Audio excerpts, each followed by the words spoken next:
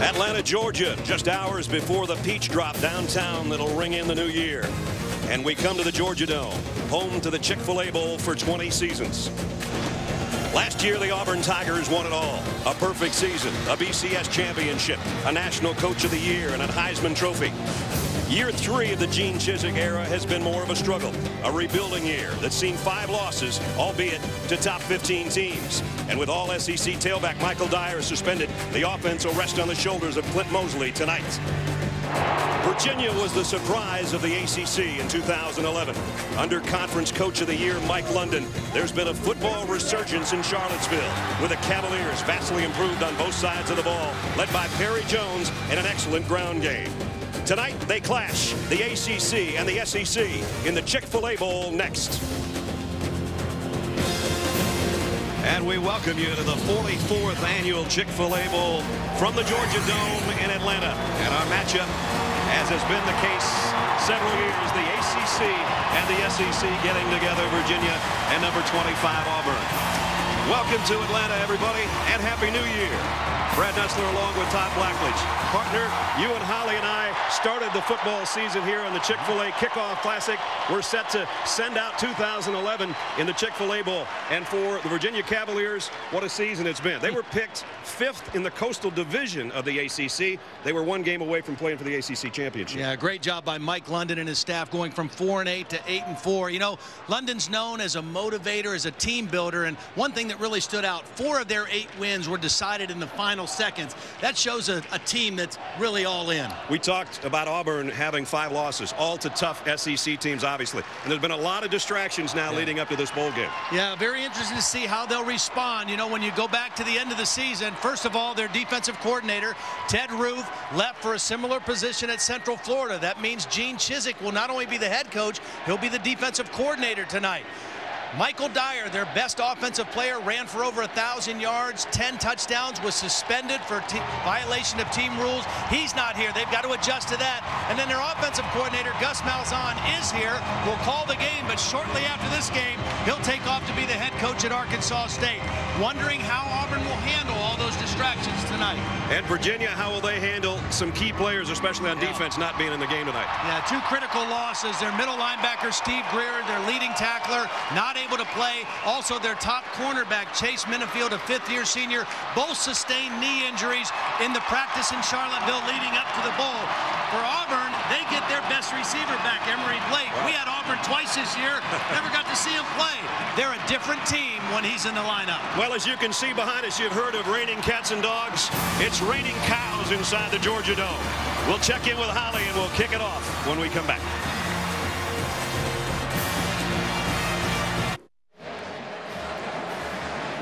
Just about set for the kickoff of the Chick-fil-A Classic. First, we check in the third member of our team. We talked about the suspension of Michael Dyer. That changes things, Holly, for what Auburn does.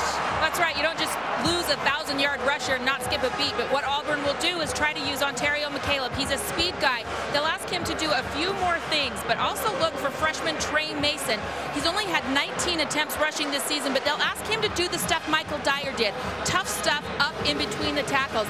And then look for more of Kiehl Frazier. He's the third string quarterback, but he's their run game in the quarterback position. So the coaches say we'll see more of him. They're going to have to be creative to find ways to run the football tonight without Michael Dyer. All right, Holly, thank you. As we're just about set for the 44th Chick-fil-A Bowl. Interesting matchup. Last year, Gene Chizik was the National Coach of the Year. And this year, 7 and 5 and calling the defensive shots tonight as the coordinator.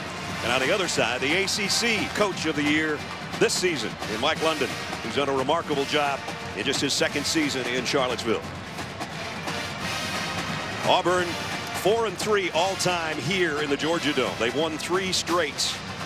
I did the last Chick-fil-A Bowl. They were in Kodi Burns on a touchdown in overtime. I missed the peach drop because we went to overtime. I didn't get home for the party until about quarter after 12. So 2011 just about set to close. Auburn will be right back here in the Chick-fil-A Kickoff Classic next year against the Clemson Tigers. But right now, they want to finish both these teams on a high note to head into spring and then the season that will follow. Virginia won the toss. They want the football. So Cody Parkey will park it right there on the tee. Alex Shepard is back deep for the Cavaliers, wearing orange helmets for the first time since 1978. A little different look for the Cavaliers tonight. Cody Parkey, one of the best in the country at kicking the ball out of the end zone. 34 touchbacks, the result of his kickoff. So uh, that's been a real strength of this Auburn team. Second in the conference and third in the country in that capacity. There's a lot of blue and orange in this building tonight. And here we go. And the kick is deep, and as Todd said, you're not going to return those kind. So the Cavaliers will start offensively at their own 20-yard line. And that means Michael Rocco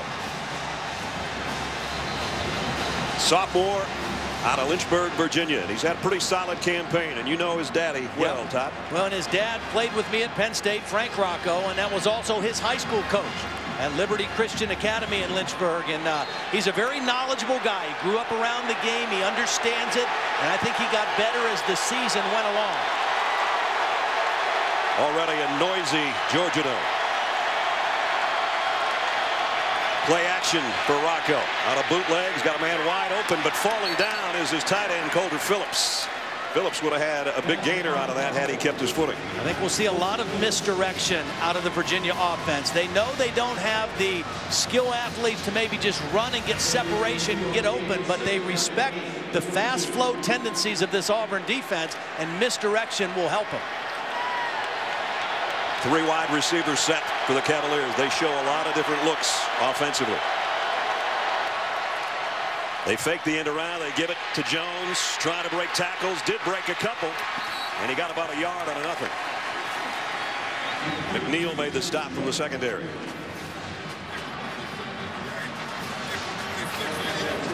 So that brings up the opening third down of the Knights. And the Cavaliers under 40% on the year on their third down conversions. Well, the guy he likes to go to, his go-to receiver, Kris Burd, number 18. Leading receiver coming into the game with 60 catches. They move him to a lot of different spots. He's in the slot right now to the bottom of the screen. Number two all time in the Cavaliers receiving charts. And now he's on the move on third down. Rocco's looking that way. Fires and got it incomplete first down. And Kris Burd, as Todd called it, picks up the first and moves the chains. Let's take a look at our impact players. Brought to you by Chick-fil-A. Perry Jones closing in on 900 yards rushing on the season. His tailback mate is Kevin Parks, and he'll see a lot of work. Second among ACC freshmen in the rushing charts. Chase Minifield, an impact player because he's not in the lineup tonight. That could have a huge bearing on what Auburn does through the air. Parks now in the backfield for the Cavaliers. Straight drop. Rocco, plenty of time. Across the middle, one-handed stab, incomplete. Tim Smith had a hand on it. And maybe the best guy on the front wall, Corey Lemonier, limping off for Auburn. Holly? Guys, he just took a blow to his right leg. He's complaining of some pain above the knee and down in the high ankle area. He's trying to walk it off right now, guys, but he's definitely in some pain. Looks like they're going to take him back to the locker room for a moment. He's one of their main guys on that defensive front. He's forced five fumbles this year and has close to 10 sacks on the season. So that'd be a big loss to the Auburn front wall. Second down at 10. Auburn thinking about a blitz. On the ground is Parks. And Auburn swarming all over him after a short game. Virginia has to try to establish their running game. The last two games, their running game has really kind of dropped off. Against Florida State, a very fast and physical defense, only 78 yards rushing. And then in the shutout loss to Virginia Tech, only 30 yards rushing on 26 carries. And both defenses fast with a lot of movement. But Virginia to be successful has to have balance. Matt Snyder comes in as a third receiver. And the tight end Phillips goes out to the top of the screen with Burd and another passing situation at third down and eight. Last time it was Burd who picked up the first. Auburn showing man. Rocco's going to flare it out of the backfield to Jones with blockers in front. Jones has got a first down and more. Good looking play, well executed, and the Cavaliers will move the chains again. Well, Perry Jones is not only their best runner, but he's a matchup problem in the passing game. Here he is right here. They're just going to get him isolated on a little screen, get him the ball quickly. Nobody picks him up quick. That's a design screen. See those linemen out in front? They get bodies on defenders, and Perry Jones, a very effective receiver in this Virginia offense. They got 14 on third and eight, and they move it to midfield on this, the opening possession for the Cavaliers. They fake the draw, play action. Rocco again, plenty of time. And he threw that one a little low, and yeah. Burd couldn't handle it. Yeah, kind of short on that one. Burd was open behind the linebackers. You know, when you run crossing routes, you usually try to throw over the linebackers and in front of the safeties. And he had a nice hole there for Burd. Just kind of pulled the trigger a little too short. I think he was so wide open, yeah. he kind of aimed it instead of letting it rip. There's Dad with a visor. Yep, Frank and Leslie again uh, went to school with them. That's their, their daughter Jennifer sitting next to him in the blue sweater. She's a school teacher in Charlottesville. Big football family. Dad's closing his eyes. Looks like he's praying here on second down and 10. This time they do hand it off. And maybe a pickup of three for Parks. Darren Bates, the outside linebacker. The leading tackler on the Auburn defense makes a stop. Corey Lemonier's coming back in.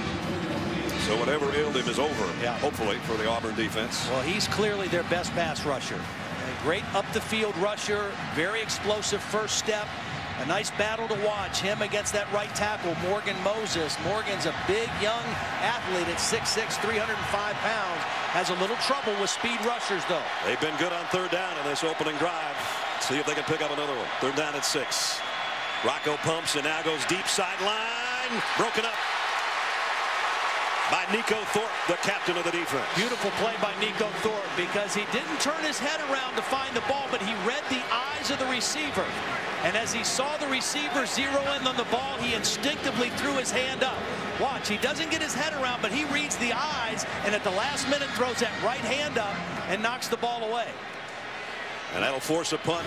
So they picked up a couple of third and longs, but not that time. Jimmy Howell will punt. Quan Bray, the freshman, a Georgia native out of LaGrange waits on the other end. It's a rugby style punter.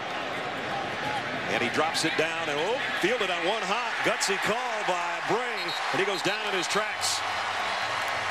Ray Keys down on the special teams to make the stop. And Auburn will start in a hole as we take a look at the impact players. Brought to you by Chick-fil-A. And Ontario McCalebb, as Holly told you, is going to be a main cog in this offense tonight with Michael Dyer suspended. They do have Emory Blake back, and as Todd said, this is the third time we've done Auburn. We saw him for one play. He hasn't been healthy all year. He says he's close to 100%.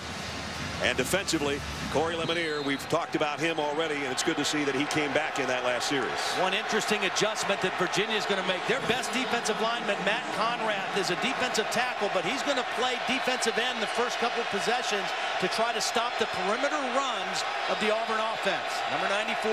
Lutzenkirchen the tight end in motion. Moseley in his own end zone just got away and got back near the line of scrimmage. That would have been a safety as Conrath was coming. Cam Jones was the first. Cam Johnson was the first guy there, number 56. On the other side, had an outstanding season. 11 tackles for loss, four sacks. He was the first guy to force Moseley up in the pocket, and Conrath there to wrap him up. One of those guys that moved from linebacker to defensive end last year. As much of that Virginia defense has done, safeties became linebackers, linebackers became ends. Here's Blake on a wideout screen, and he got it out across the 12-yard line. And still going to bring up a third down for Auburn on their opening drive. This is an area where, you know, there's a lot of areas where it's a big difference with this Auburn offense from last year to this year with the absence of Cam Newton. Third down, one of the biggest. Coming into the game, 36% conversion. That's 103rd in the country.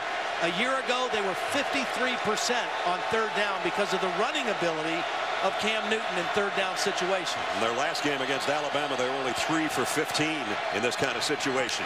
And this one off the fingertips of Lutzenkirchen and Auburn not only will have a three and out, they'll have to punt from their own end zone.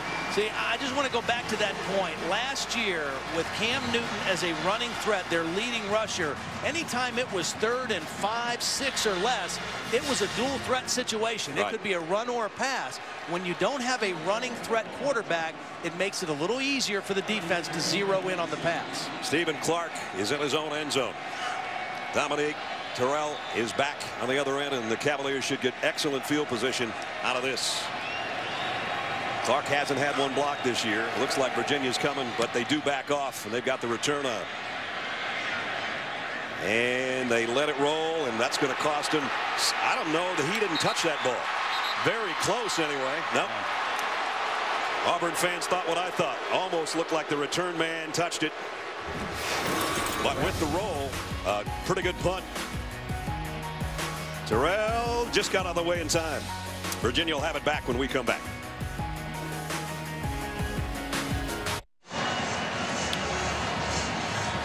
Well, the Cavaliers at least switched field positions by driving down and then holding Auburn to a three and out. They start this time offensively their own 36 yard line and they change up personnel at the very last second.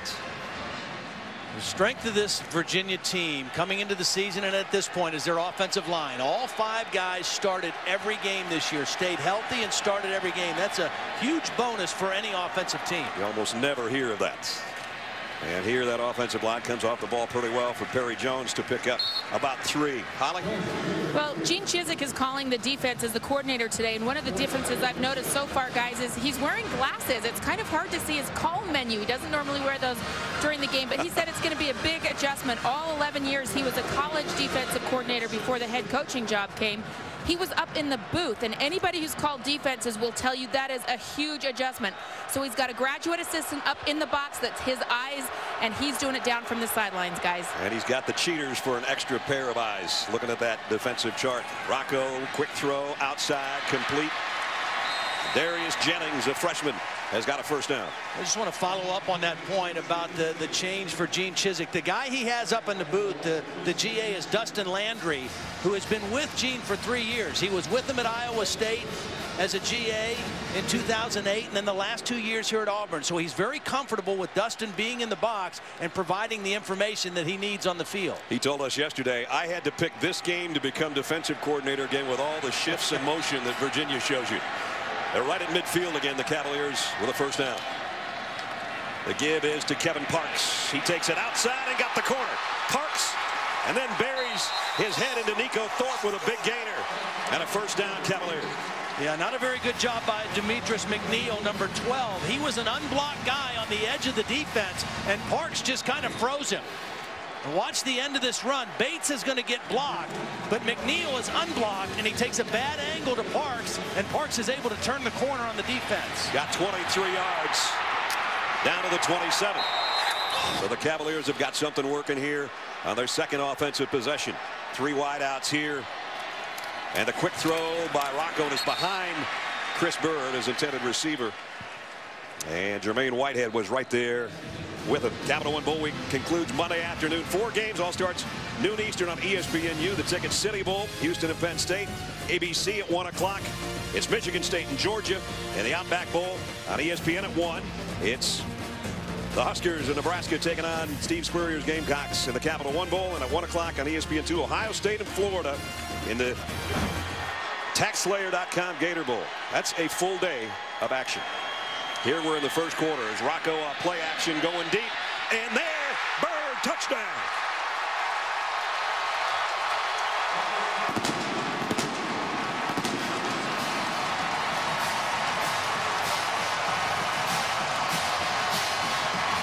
Rocco to Burd, the hookup, 27 yards and a touchdown.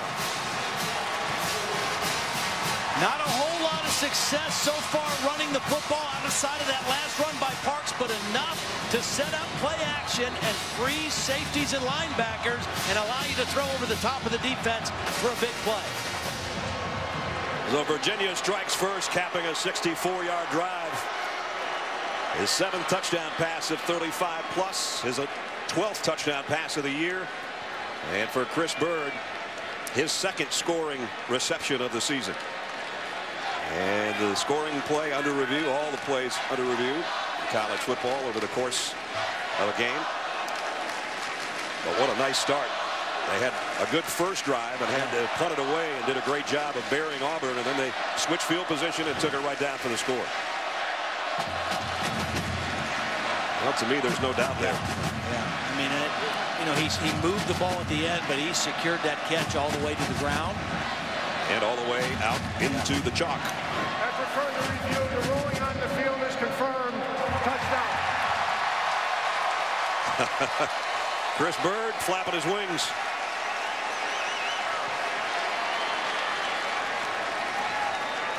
So Robert Randolph in for the point after. I, I just like the feel, the rhythm of the Virginia offense here in the first quarter of play. The extra point is good. And with 8.05 remaining in the first quarter, the Cavaliers strike first. Michael Rocco with his 12th touchdown pass of the year.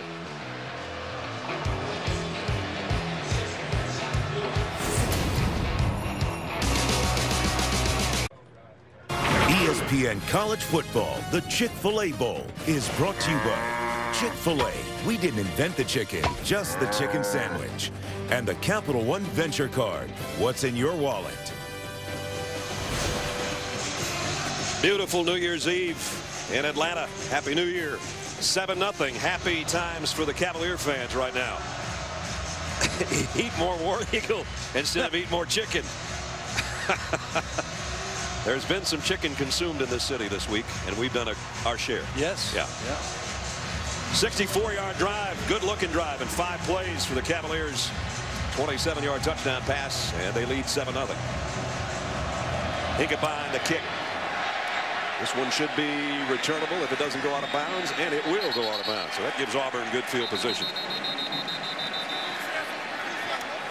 They did not have good field Kick position on their first possession. The kicking team, the ball will be placed at the 40-yard line.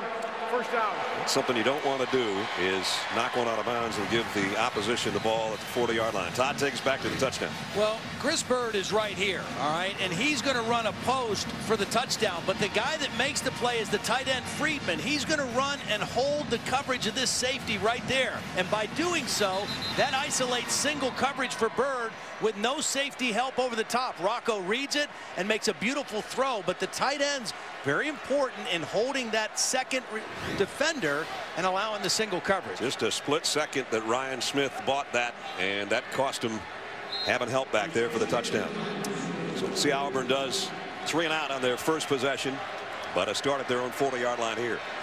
Ontario McCalebb in the backfield in the shotgun with Moseley.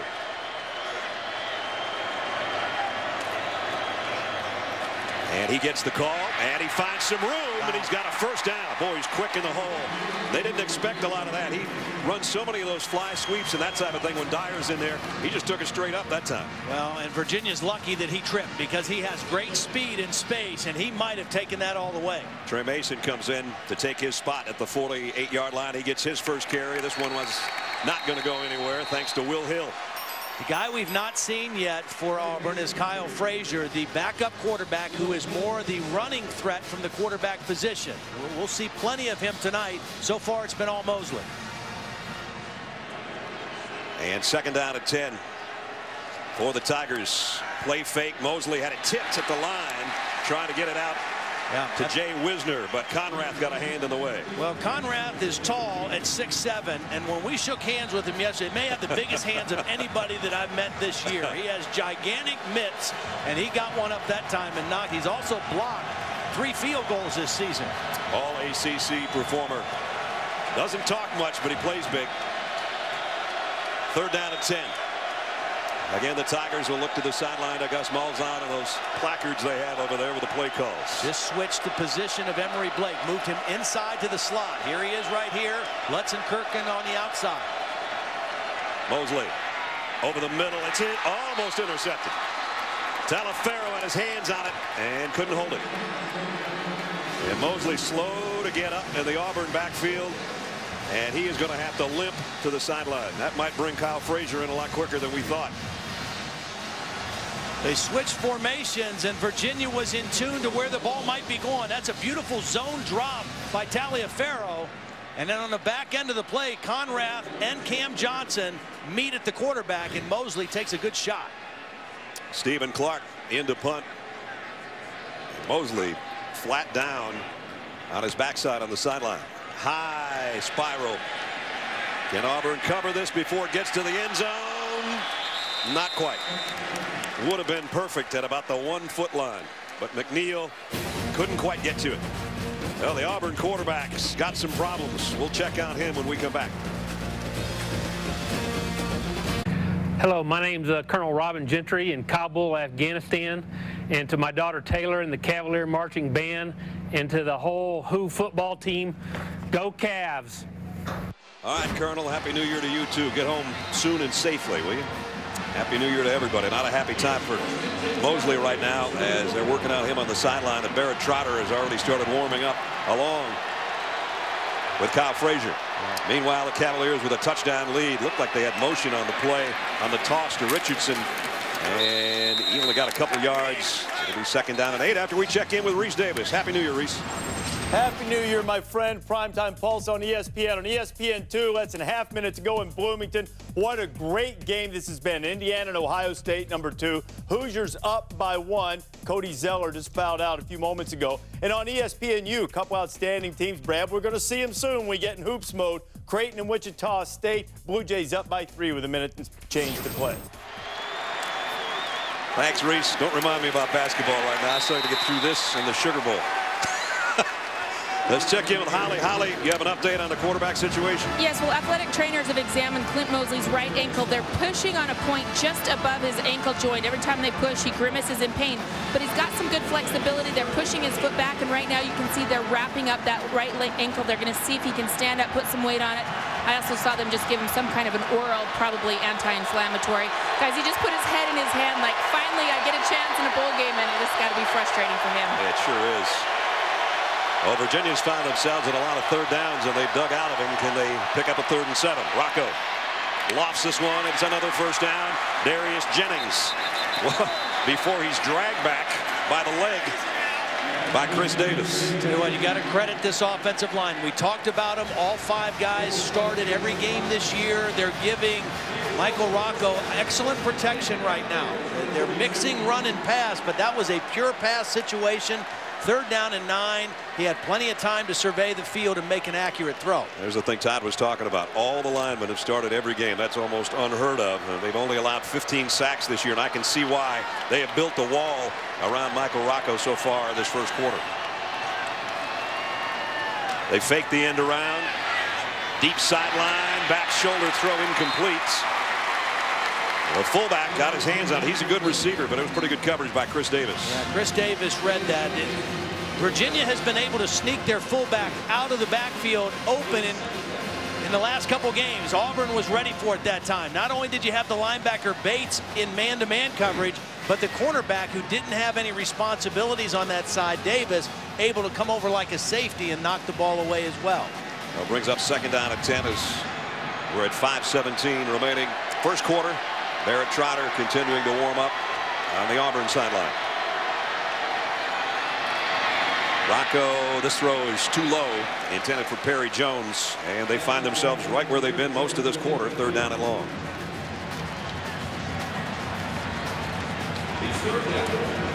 Well, if you're Auburn right here, this is where you need your guy, Corey Lemonier, to come up and make a big play. He's been kind of quiet. He had to take himself out of the game with a little bump on the leg. But this is a, a situation for him right now to uh, to change momentum a little bit and make a big play for his team. He says to Chris Sanders, you take the right side, I'm coming out to the left on third down and 10. As Auburn flops their defensive ends. Quick slip screen and a good job defensively by Therezie in the secondary. Yeah, read very quickly by Thezie. You, know, you hope to get a lineman to get a piece of that if he doesn't read it so quickly, but it was a quick read and a nice tackle out in space. So Jimmy Pop, uh, Jimmy Howell will punt again, and Quan Bray fielded the last one deep in his own territory. He should have a better shot at this one. Auburn got some nice pressure, and they blocked the punt, and they've got it. Blake Burgess and the Tigers with a big play on special teams.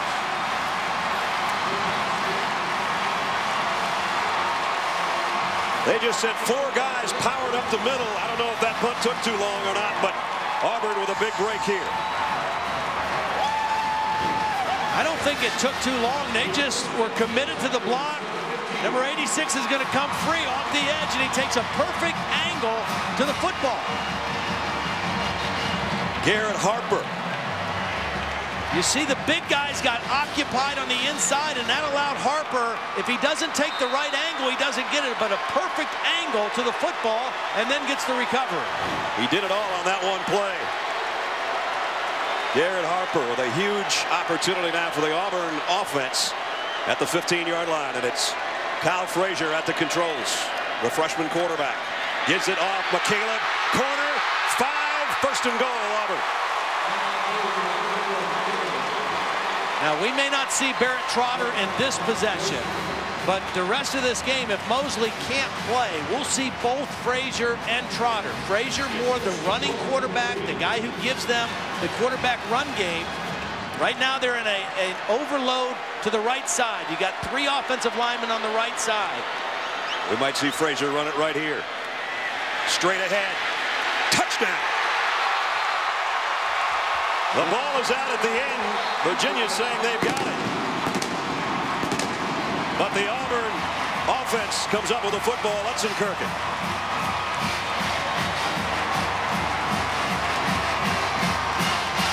Only thing that has to happen is the ball just has to cross the plane of the goal line for it to be a touchdown. I thought he was in, but we'll get another chance to look at it here. He's got both hands wrapped around the ball, too. There's the scrum at the end of the play. play is under further review.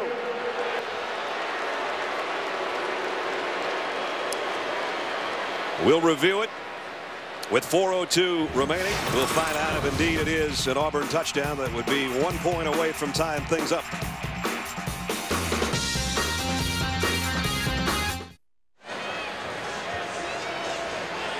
Kiehl Frazier thinking that he's got a three-yard touchdown run. And we're still waiting word Yeah. after the replay. Well, that, that was the ruling on the field, touchdown. Henry Coley, number 44, is the guy that's going to rip the football out. As Frazier is fighting for the end zone, 44 rips it out. There was a fight for the football then between Jake Snyder, number 90 in orange, and Lutzenkirchen, number 43 in blue. The ball definitely came out. It's just a matter of whether he crossed the plane with the football before the ball was ripped out by Coley. Nick Trainer is our replay official as they continue to review this play. And our referee Dennis Hennigan will give us the official call here in a second. Again, the ruling on the field was touchdown. After further review, the ruling on the field stands. Touchdown. Frazier's second rushing touchdown of the year.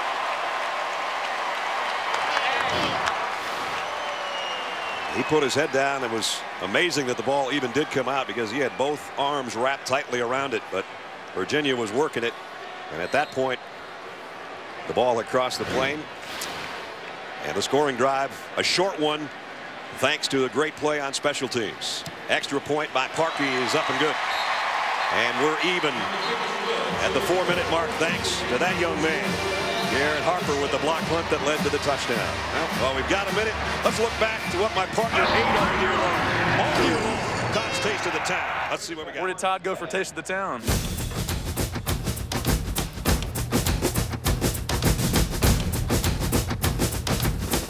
Duane Purvis All-American Burger. Cheeseburger with creamy peanut butter on the bottom bun. For my purposes, A-OK. Looks pretty good, doesn't it, Fred? You got it, man. Crazy about Tiffany's. Mm. Crazy. Where are the Blackledge boys when I need them? I love my job. So you know what? Time to go to work. Time to go to work. Mama does know best. Yes, she does. That was, that was great. That, that was the one that was, that's like deep fried after twice it's fried. tw- twice twice fried. cooked, twice cooked chicken. Yeah, what a great year. With fifth year of Taste of the Town. Yep. You went with me a few times. A few times. I did help you with that uh, big Sunday. the ice cream, yeah. When you didn't have the boys around. But everybody asked me, do you go with Todd every week? I said if I went with Todd every week, they'd have to have a wide angle uh, lens up there to get me in the screen. I don't know how you stay Well, that way, but well, you, we, we both get on that treadmill about the same amount of time, but uh, had a lot of fun with it again this year. Tie game 7-7. And the kick is again going to be about six yards deep, and Virginia will start at the 20-yard line. Vance, with ESPN's new football game, you are the most explosive player on the field. The return man. Hit the gap, break tackles, take it to the house. Play for free at ESPNReturnman.com today. This guy playing the real game and doing a good job of it so far. 7 out of 13, including a 27-yard touchdown pass to Kris Burd. I, I like the game that Bill Lazor's calling too. The offensive coordinator, a young guy who second year at Virginia was a quarterback coach for the Seattle Seahawks the last two years prior to coming to Virginia. Spent seven years in the NFL coaching quarterbacks under some pretty good head coaches. Did a nice job calling this game. Play fake and the bootleg by Rocco. Thinking to throw back against his body and wisely comes the other way and throws it out of bounds. The Cavaliers in their orange jerseys and orange helmets. There's a lot of blue and orange in here tonight, Holly. It's very confusing. This looks like a home game for either team, and the reason why Auburn's very first football coach in history, Dr. George Petrie, was a graduate of the University of Virginia. So seven years, five years later, when he went to Auburn to collect the guys and start a football team, he decided to go with his alma mater's colors. So guys, they are exactly the same colors. It has been a very confusing week in the team hotels. We're just going with if they're clapping after an Auburn play, then we know they're Auburn fans. Uh, good call. At the 20, second down at 10 for the Cavaliers. A throw quickly out and complete, and the ball comes out at the end of the play. Auburn's got it. Ripped out from Perry Jones. Yeah, Chris Davis, I think, made the play. You know, he, he was in tight coverage, first of all. And you could just tell that they're trying to squeeze down on these quick routes. Even though the completion was made, Chris Davis didn't give up on the play. Here's the completion in tight coverage. And then Chris Davis just doesn't give up on the play and rips the football out before Perry Jones goes to the ground. Again, a great job right there by number 11, ripping, and that is the epitome of ripping. And it, another big play by Auburn. This time their defense, not their special teams. And it sets their offense up in great shape again at the 32-yard line. Trotter, quick throw. Going to be a loss on this play, though. Nice job defensively by LaRoy Reynolds, who made the stop. Well, when we did our first Auburn game this year, this is the guy that was a starting quarterback. Yeah, he started the first seven games. He, he got banged around a little bit. About midway through the year, got replaced by Moseley. Got kind of replaced as the second guy in by Kiehl Frazier. But here he is with an opportunity to uh, to lead the football team again. Second and 13. Here comes the pressure. And the throw's incomplete, intended for Trovon Reed. And that time the Cavaliers brought the house on Trotter. I think what Jim Reid, the defensive coordinator, is feeling, hey, new guy in. He hasn't been in the game, hasn't been in the flow. Let's go after him a little bit. See if we can put some pressure on him. And that time they forced an errant throw. There's Jim, the defensive coordinator. Third down at 13. Trotter wanted to throw back the other way, goes to the wide side to Wisner, and he's short of the first down. Short of the first down, but a good completion that might give them an opportunity to try a long field goal. You know, if that's incomplete, then they're looking at a punt situation for sure.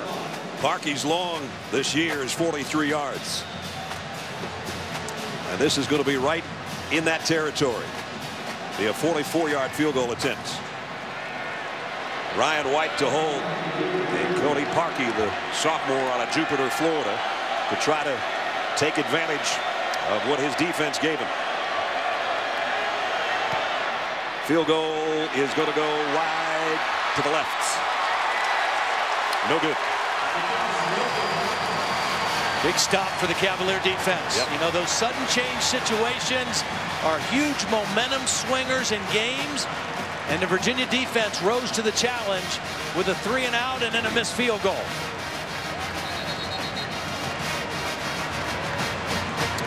Had the distance, but wide left. Mike London said, okay, that last mistake didn't cost us. I think what Virginia's going to have to do is try to find some way to stretch the field in the passing game because Auburn is trying to clamp down on the short, quick throws right now. They'll go to the ground game. And Kevin Parks with another burst and probably a first down. Oh, he's quick. Well, he's quick and he's short. I think, you know, they've got big offensive linemen, and he's listed at 5'8", which means he's really probably only about 5'7". and he just gets in behind those big linemen, and he's hard to find. He got all but the last foot or so. Second down, less than one.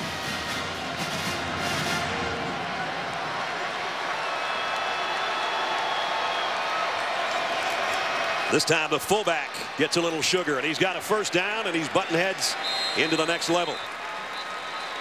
Max Moline, Freeman and Davis bring him down but he easily got a first down although we got a flag at the end of the play.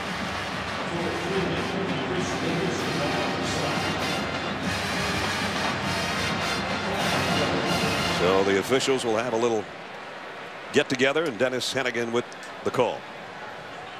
After the play was over, personal foul, unnecessary roughness, defense number 55.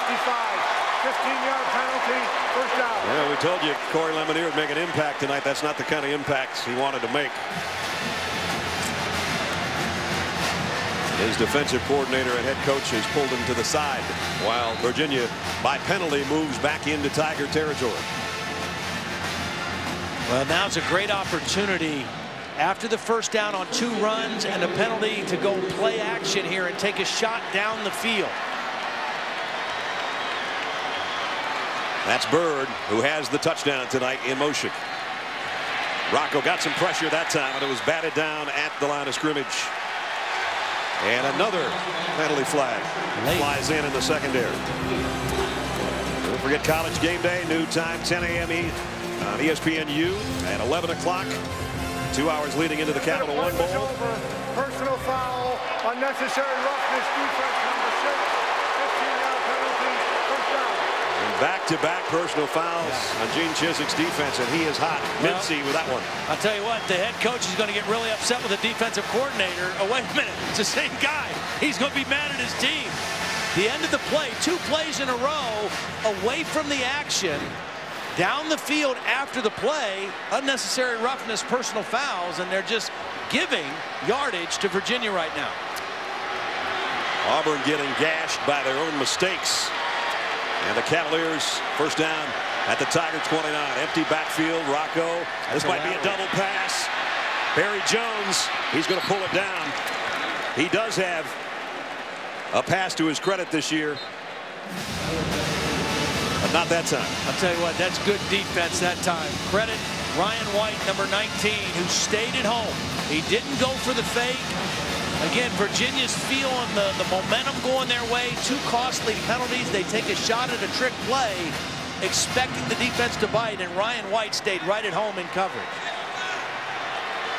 So let's see what Bill Lazor's got up for this situation. Second down and eight. Rocco looks left and comes back across the middle to Jones. He's a yard shy of the first down. Lemonier, who's back in there after the personal foul, made the tackle. See, I mentioned that Perry Jones is an excellent receiver. 41 catches on the year coming in, and he's a mismatch problem. That time, he's a tailback coming out of the backfield working on a defensive end, Lemonier, who had dropped into coverage. That, that's a, a, matchup that favors the offense, and Rocco found him very quickly. They have an I set here again on third down and a yard. Parks is the tailback. He'll get the handle and get the first down, but not by much. Might even have to look at this one. Left foot spot or right foot spot? Looks like a right foot spot. I think so, and that should be a first down. And it is. The old right foot spot. Plenty as the first quarter coming to a close. Been a good ball game. All those folks in orange and blue. Orange and blue officially for Virginia. Burnt orange and navy blue. At the end of one. Both colors even at seven.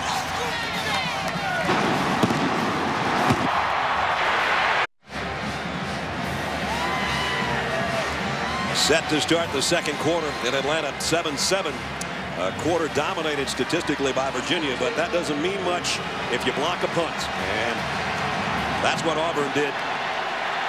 That block punt led to the touchdown. And the Cavaliers driving and driving down to first and goal. Wow. Nice quick hitter by Perry Jones. They went with the quick count coming out to start the quarter. Kind of caught the Auburn defense back in their stance a little bit. And Perry Jones showed a little burst. You're just joining us here early in the second quarter, the majority of this Virginia drive was catapulted by mistakes defensively and two personal foul penalties on the Auburn Tiger defense. That's what's helped them go 68 yards. This the eighth play of the drive, first and goal at the five. Rocco wanted to swing it out, and whoa, what a catch by Parks, but he lost yardage on the deal. Daren Bates made the hit. Quite a grab, though, by Kevin Parks. A one-hand stab. The two number 25s out there going one-on-one. Yeah, Michael Rocco looked like he was thinking about throwing that away. That clock had kind of gone off in his head. He knew he had to get rid of the football and uh, kind of got caught in between throwing it or throwing it away. And Parks went up and made a great catch. Parks did the instinctive thing. If he would have had another chance at that, he would have let it go because they lost four yards. Second and goal back at the nine. And now Parks on the run behind his big offensive lineman gets it back down to the five. They pulled their center that time. Anthony Mihota was out in front. Parks just kind of put his hand right on his hip and just kind of rode him right through the hole. Pretty nice run there on second down. Third and five right now. If you're Michael Rocco, you got to be smart. You know, you want to take care of the football. You don't want to throw an interception trying to force a ball in here. You're in field goal range to take the lead. And you want to make sure you come away with points if you don't have what you like. His biggest target would be coming right there towards you, number 89, Colter Phillips, the tight end. Third down and goal, and they got to call a timeout. They were running out of time. So they'll have time to think about it, talk about it, and see whether or not they can take a touchdown lead when we return.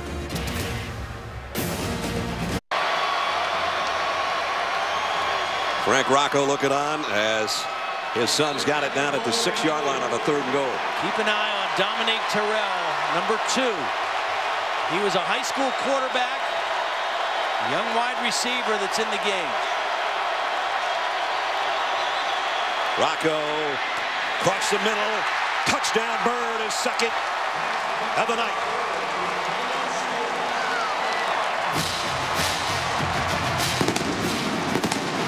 Boy, that's a beautiful job by Burd, just finding the soft part of the defense and sitting right down to give his quarterback a target. Virginia uses a lot of bunch formation, so they all come off at the same time off the line of scrimmage, and then they spread out into routes, and Burd did a beautiful job sitting down. Randolph's extra point is good. 73-yard drive in 10 plays, much of it courtesy of the Auburn defense. And here's the touchdown pass, second of the night between these two guys. And watch Burd just sat down, showed his numbers to the quarterback, didn't drift, didn't fade. That's what a veteran receiver does. Show the numbers to the quarterback, secure the catch for the touchdown.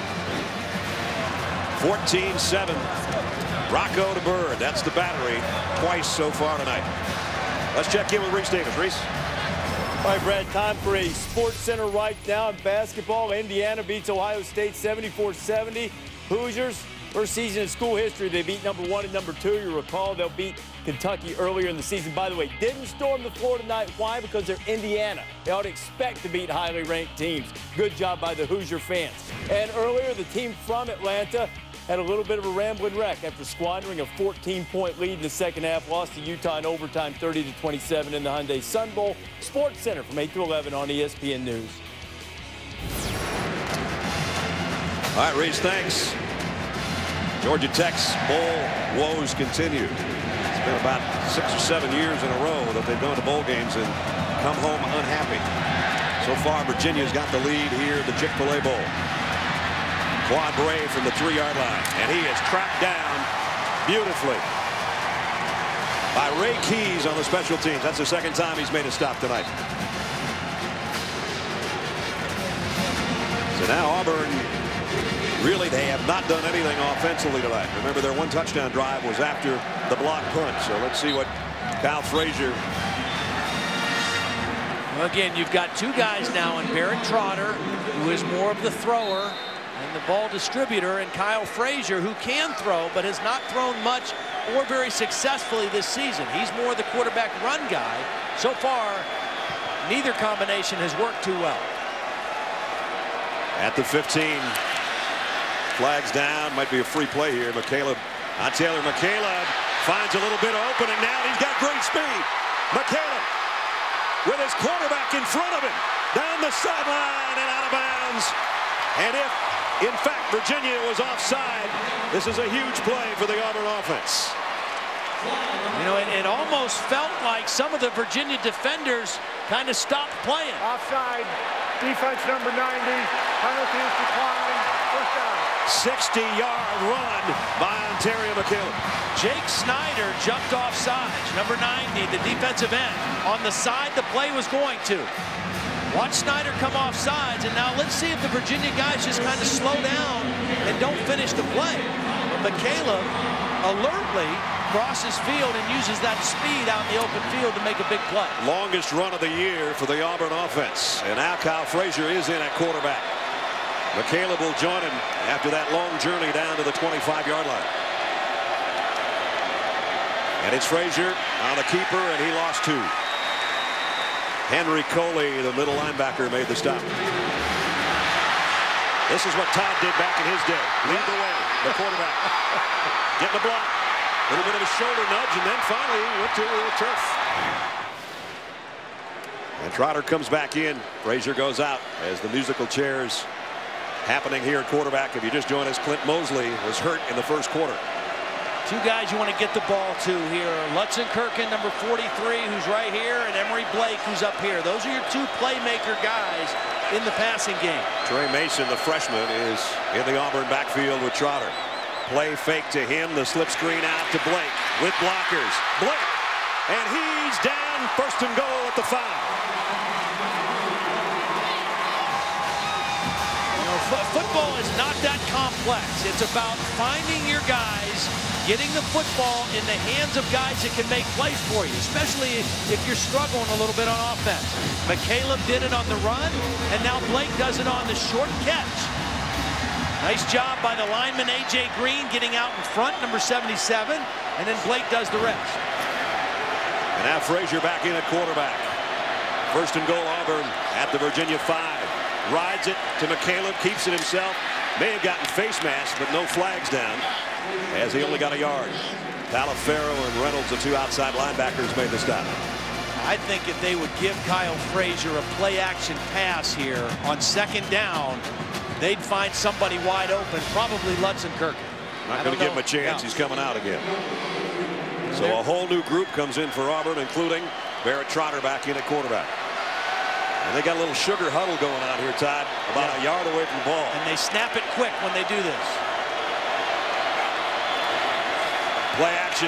Trotter lofts it and broken. False. Couldn't handle it. I was going to say broken up. He broke it up himself. That should have been a touchdown. Yep, they break that huddle quick. They snap it quick. The ball's thrown well enough to be caught. It's a little bit high, but a very catchable pass. And Fulse not able to bring it in. Had a flag down at the end of that play. Illegal formation, offense, five players in the backfield at the snap.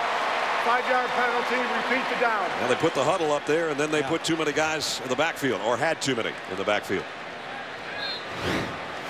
Well, that, that's the problem with going with that quick huddle. They don't have enough guys up on the line of scrimmage. And then the play that would have worked beautifully and he caught the ball, but Fulse didn't. Correction. The penalty is declined. Third down. So third down and goal. Gus Malzahn telling the troops on the sideline before he sends them all in what the play is. Philip Lutzenkirchen, seven touchdown catches on the season, 14 for his career. They're going to show the same huddle. Now they split Blake and Stallworth out quickly, and they put Trotter in the shotgun. And the end around of McCalebb on a Statue of Liberty touchdown. Nice.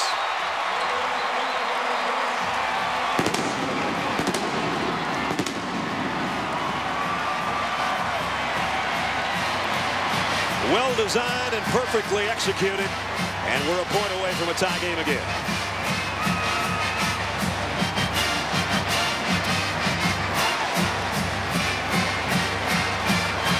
Cody Parkey for the point after.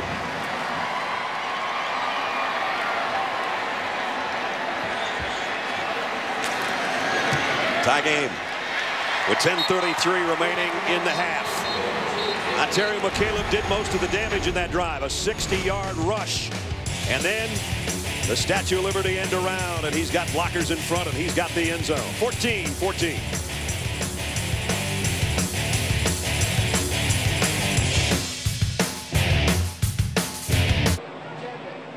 ESPN College Football, the Chick-fil-A Bowl, is brought to you by Chick-fil-A. We didn't invent the chicken, just the chicken sandwich. And the Lexus December to Remember sales event for a limited time at your Lexus dealer. Both teams had a lot of fun this week, shooting some hoops, making milkshakes. Everybody talked about the go-karts, both teams, and the visit to the children hospital here in town. Great time. Chick-fil-A folks always uh, have everything set up for these teams. I thought it was interesting too. Some of the like the offensive guys on the go kart talked about winning and going fast. Right. The defensive guys talked about crashing. crashing. Yeah, crash. As Corey Lemonier said, I had so much fun, I was crashing everybody. I said, they usually kick you out for that, but it is bowl week. McCalebb caps an 85-yard drive with a three-yard touchdown run and a beautifully designed play that we'll show you again here in a second. Right now, Cody Parkey's got it teed up. Set to kick away at 10.33, and it's an onside kick. And Auburn's got it. How about that? The kicker doing his thing. Two huge special teams plays for Auburn here in the first half. The block punt and now Cody Parkey with the onside kick. You try this when you expect that front wall to just turn and run. They go and block. Beautifully executed. Parkey allows it to go 10 yards and then covers it up. That was beautiful. He just waited on it like Todd said. Had to go 10 yards, and he's waiting, waiting, and it probably feels like an eternity right about there. And just snatched it in inside the 41-yard line.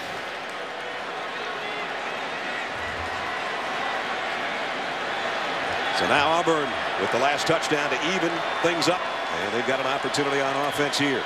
And now fumble. Frazier picks it up. And he gets horse collared at the 45-yard line. Roy Reynolds brought him down. Now let's see if Trotter comes back out. And he will. Again, Clint Moseley, the starting quarterback, hurt in the first quarter. And it's been a rotating situation now between Kiehl Frazier, the freshman, and Barrett Trotter, the junior out of Birmingham. Second down and six. They fake the end around. Trotter loads and fires deep. Got a man out there. And it's Blake to the five.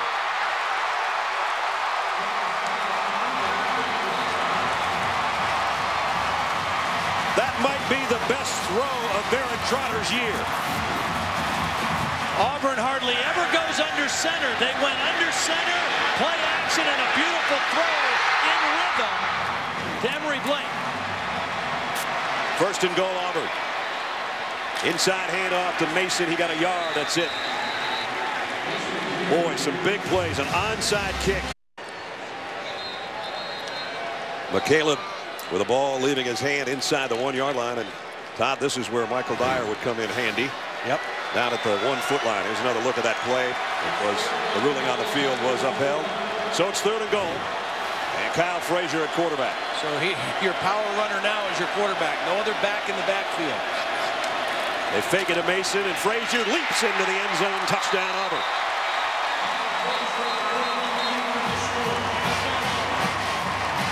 Your quarterback becomes your power back, as Todd said. And he had no problem, even after taking the snap of the shotgun to find the end zone. I'll tell you what, you, you got to be, if you're an Auburn fan, you got to be happy for Barrett Trotter, too. You've gone through a tough year. Your team's gone through a tough year. And when they need you, you step up and you make some big-time plays. Cody Parkey, who started all this with the onside kick, finishes it with a perfect extra point kick. 8.44 remaining in the half. Parkey, his teammates know it too. He started things off and he ended it 21-14. It's going to be a good game coming up Monday. Top five duel, Andrew Luck against Justin Blackmon in Oklahoma State. Tostitos Fiesta Bowl on ESPN, ESPN Radio, ESPN3, and also streaming live on WatchESPN.com and the Watch ESPN app. Monday, January 2nd. That'll be a dandy, 8.30 Eastern Time. I don't think either defensive coordinator will sleep too well the night before uh, that game. I don't think so.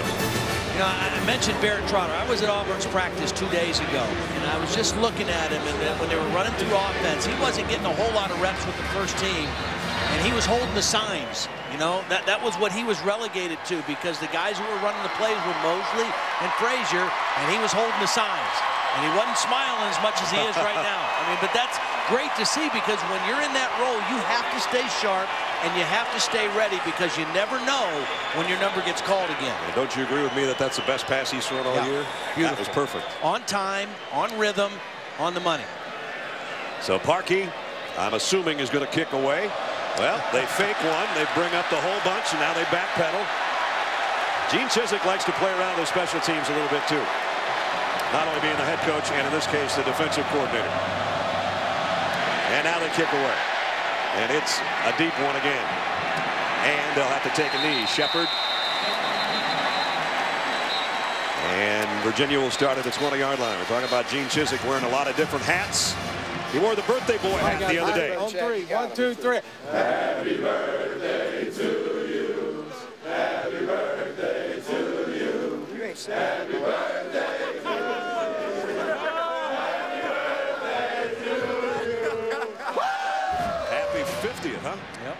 That's a big one. Spent the entire week in Atlanta. he was telling us, even though I knew when I was going to be the defensive coordinator after Ted Roof left, being the head coach and defensive coordinator and all the functions going on in the Chick-fil-A Bowl was a little taxing. Rocco on a throw complete to Jones and he's going to have a first down. Well, guys, I wish I had a pedometer on Gene Chizik. He might have turned 50, but he is running everywhere down on the sideline. He sprinted up to the front to call that onside kick. He's heavily involved in the special teams.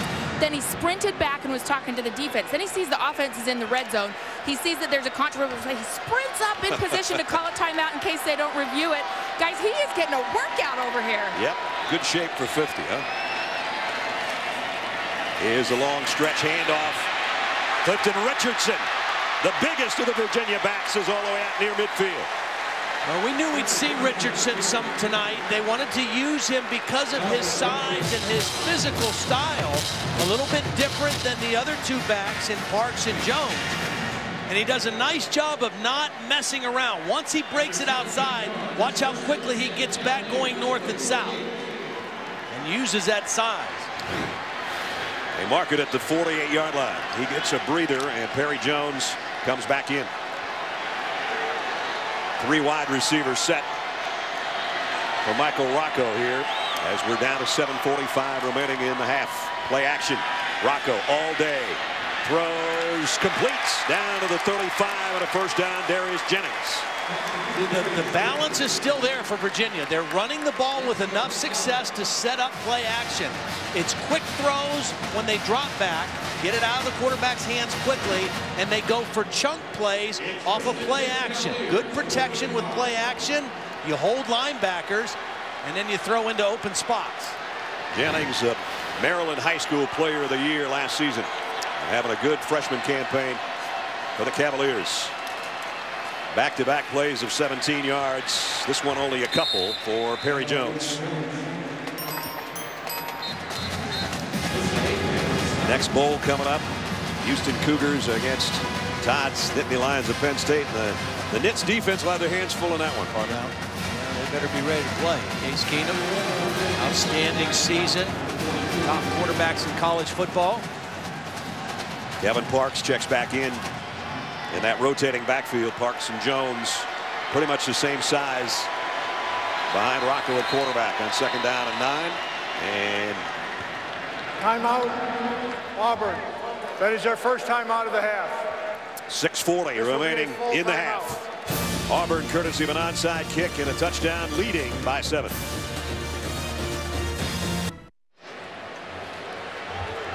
Back in a sold-out Georgia Dome, 21-14, 6.40 remaining in the half. Brad Nessler, Todd Blackledge, and Holly Rowe, and our ESPN crew with you on New Year's Eve. Good football game so far. Rocco changing the play at the line of scrimmage. Auburn showing a pressure defense.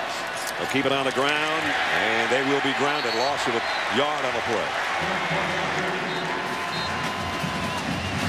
It's going to bring up third down and long again. It's a good timeout for Gene Chizik. Auburn, Virginia showed that two tight end balance formation. Gene Chizik called timeout to talk it over, and Virginia came out and gave the same formation, and they were ready for it and stopped that second down play for nothing. So Bill Lazor and Mike London looking on to see if their team can pick up another big third down conversion. Empty backfield on third and nine. Rocco throws out in the flat, and Jones stop and go. Still going. Nice run and catch and first down. Again, he is such an effective weapon out of the backfield. I mean, he's not a, a pure runner like some running backs, but he is a dangerous receiver. He's in the slot. He comes underneath. Neiko Thorpe's trying to cover him from way inside. That's a difficult ask for even a guy as talented as Thorpe. Couldn't get to him. Rocco got the ball to, to Jones, and it's an easy first down. Some nice brake pads on him, too, there. in the red zone. Cavaliers trying to even things up here before halftime at the 19. And it's the big back again. And Richardson banging his way, still not down. They'll give him probably three on his forward progress, I think. Richardson, a freshman out of Newport News, Virginia, which is a hotbed for great football players. But he, as Todd said, is the bigger guy, six footer, about 215 pounds. Yeah, he's not ready to play as much as Jones or Parks primarily because of pass protection responsibilities. I mean, he's a little bit behind in that because of his age as a freshman, but in terms of being a physical runner, definitely somebody they want to work into the action. Parks back in there now at the tailback spot. On second down at six, just outside the 15. Rocco all day to throw and now throws it away wisely, I think. He had Burd. Now we got a little skirmish going on after the play. Kenneth Carter and Aboushi, the tackle, get tangled up a little bit. It brings up third down and six. Six out of eight on the third down conversions tonight. So it's for Virginia. We got you right where we want you. If they can continue to convert those third downs, they can get a first inside the nine.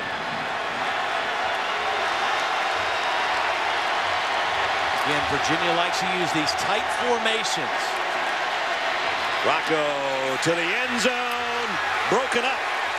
Perry Jones, the intended receiver, and Freedman and Thorpe are back there defensively. I think if he has a little bit more on this ball, Jones might be able to catch it before the other guy comes over the top. It was a little bit underthrown, and you saw that Jones had to kind of wait for it, and that enabled Thorpe to get there. And again, instinctively, much like the play earlier in the game, Freedman at the last second got a hand in there.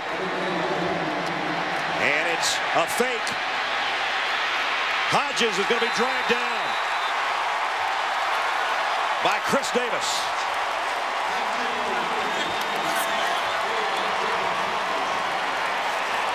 The Auburn defense presents itself and prevents any further scoring by the Cavaliers. Well, no question the special teams edge has gone to Auburn in the first half of this game.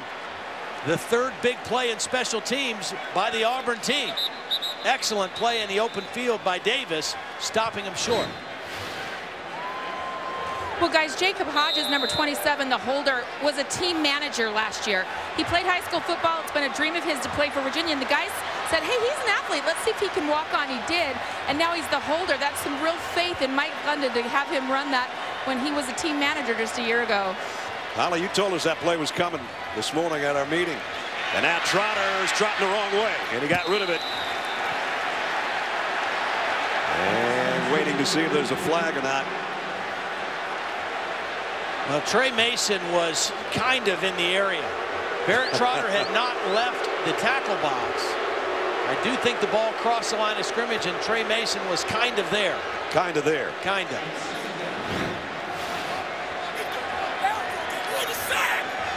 They were trying to set up a screen, and uh, quick pressure by Conrad forced Trotter to throw it away.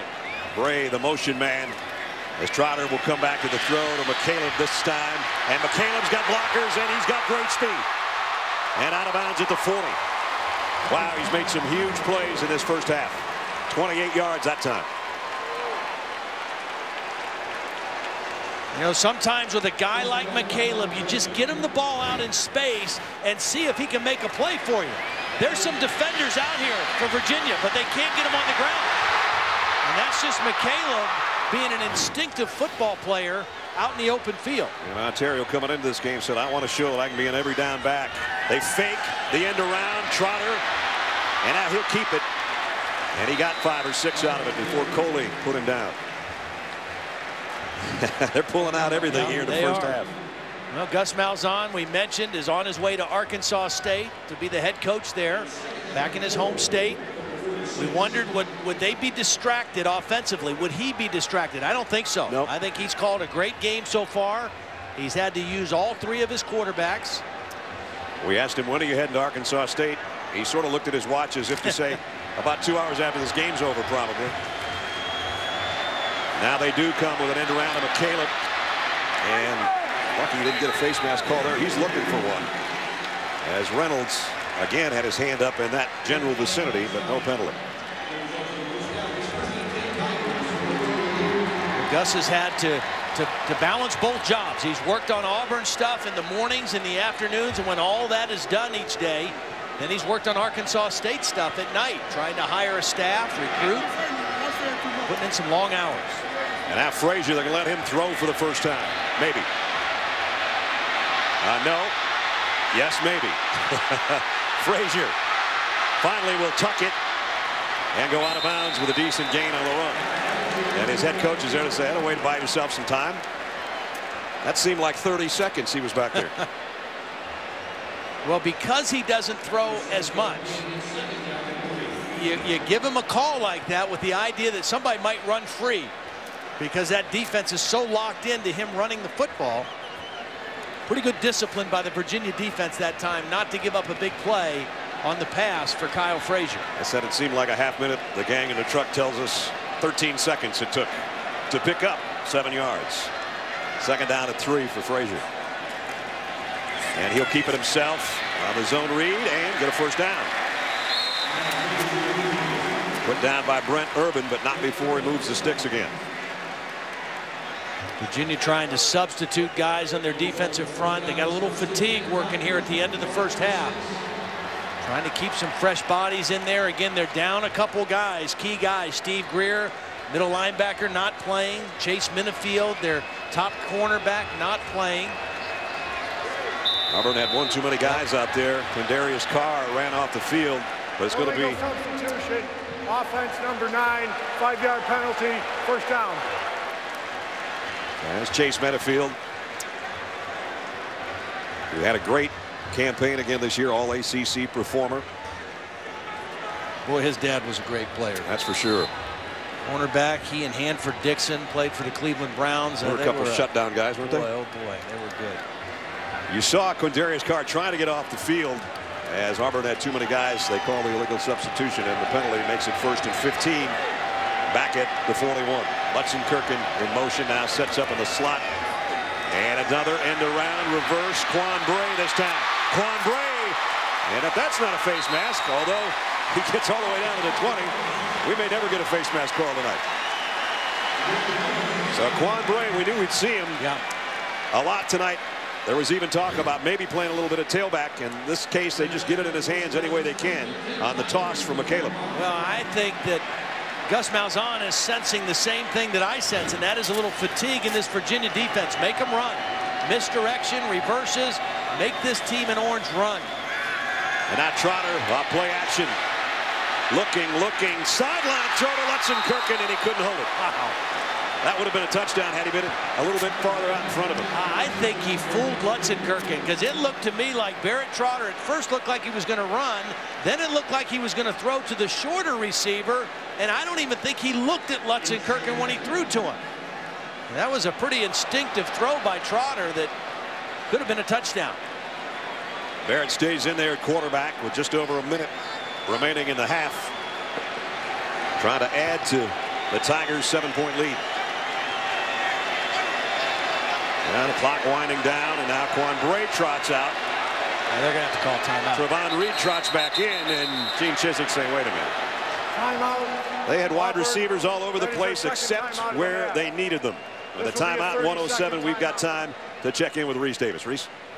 Brad, we are not far away from the H&R Block halftime report. It's been a busy New Year's Eve, a bittersweet victory for Texas A&M. We'll show you how they came through against Northwestern. A bowl frenzy throughout the day. Mark and Lou will be here to dissect all of the highlights. And we'll also show you the Bobby Dodd Coach of the Year.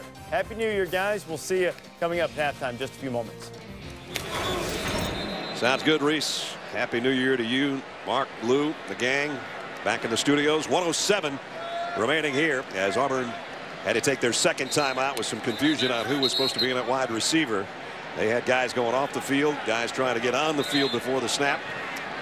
And they don't want to waste an opportunity like this one. They're down at the 25-yard line. And they can, as Lutzenkirchen still shaking his head about that pass that could have been maybe a touchdown. And now Trotter in the gun on second down and 10 at the 25. Virginia's going to blitz. Trotter on a throwback to McCalebb to the corner and bye-bye Onterio.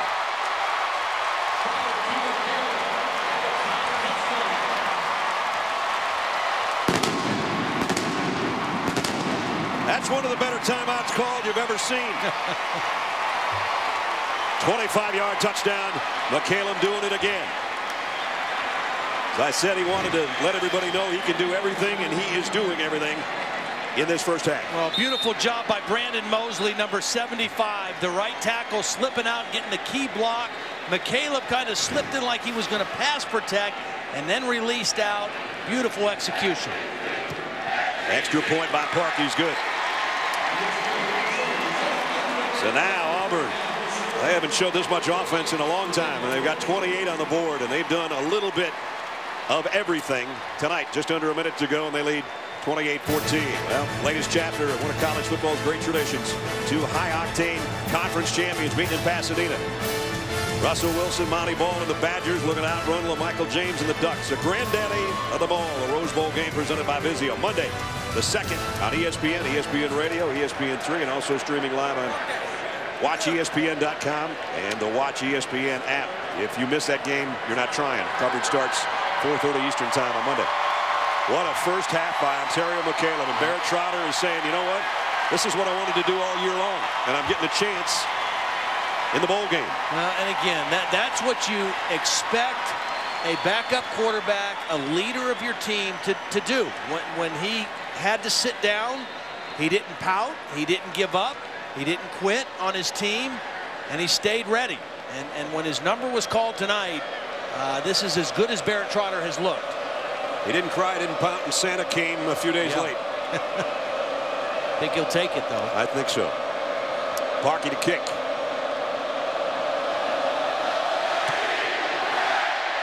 Great at drilling it deep and preventing runbacks, but this one will be carried out from a yard deep. Darius Jennings. And Jennings, nice return out to the 30-yard line. As we take a look at our H&R block, never settle play.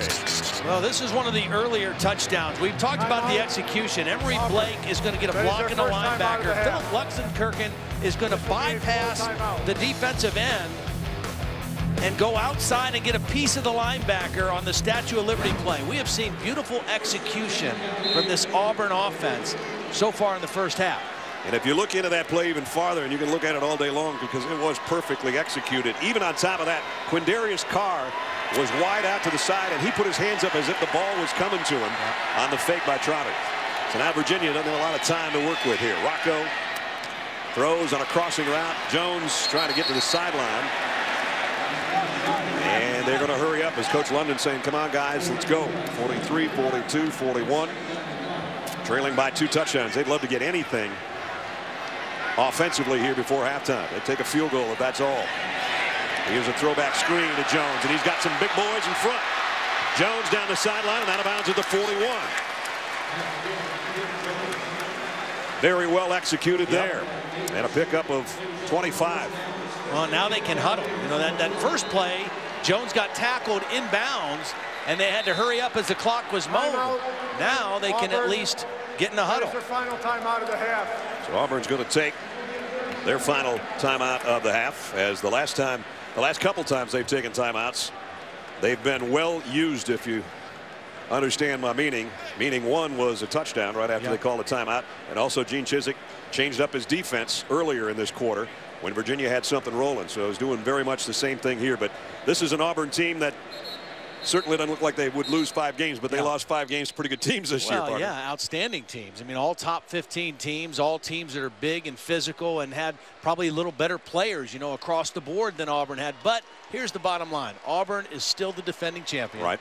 they still got a lot of pride. They still play in the SEC. they're SEC. Still in the SEC, you know, and so that that's why they're a handful for Virginia tonight. And, and right now.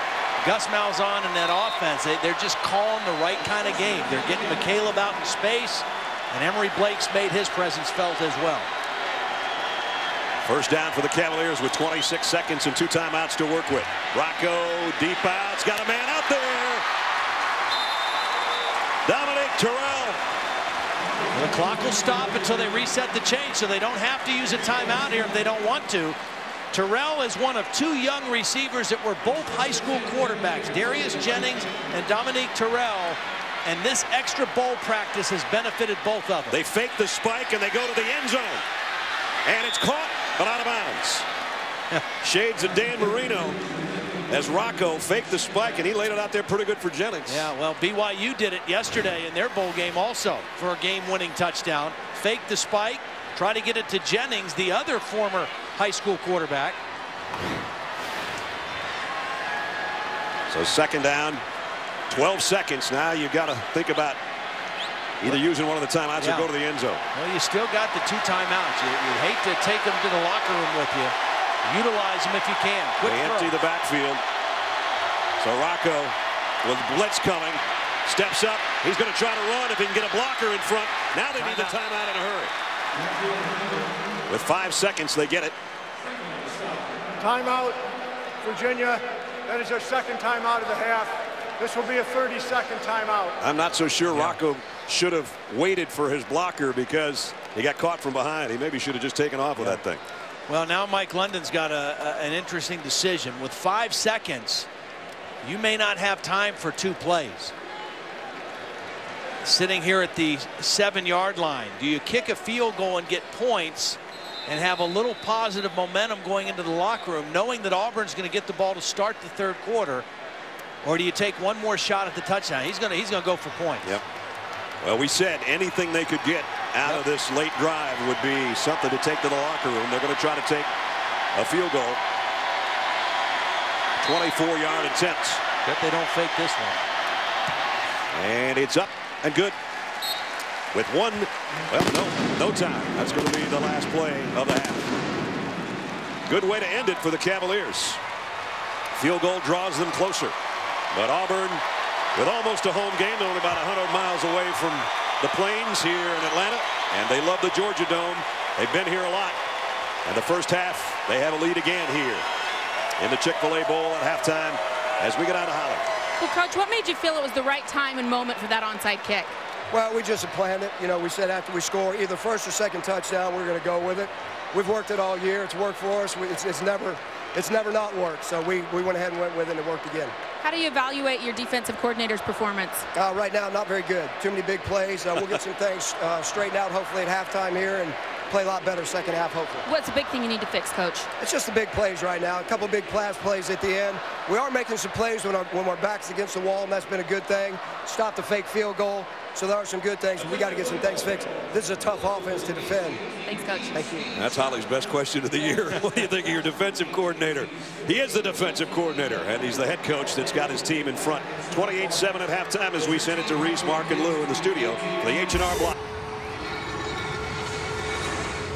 28-17 as we're just about set to start the third quarter and the National Events High School Band concluding its tribute to America down in the field here at the Chick-fil-A Bowl.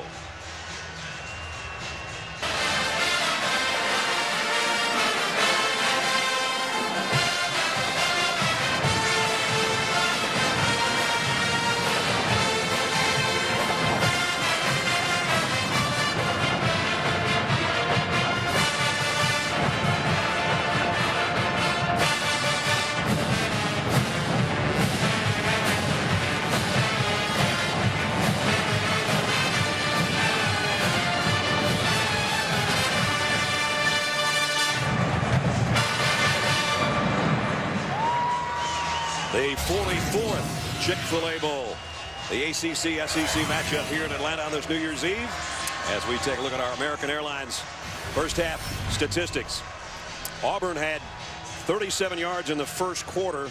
They had 237 in the second quarter and thus the lead 28-17 the Tigers out in front as we welcome you back to Atlanta everybody in the Georgia Dome Brad Nessler with Todd Blackledge you know partner first thing I think of when I think of bowl game is there going to be rust Yeah. and are we going to see teams wanting to win uh, these two are pulling out all the stops and they don't look rusty No, they don't. Both offenses have looked outstanding in the first half, and really the only edge that Auburn has had clearly in the game has been on special teams, and it's been mistakes.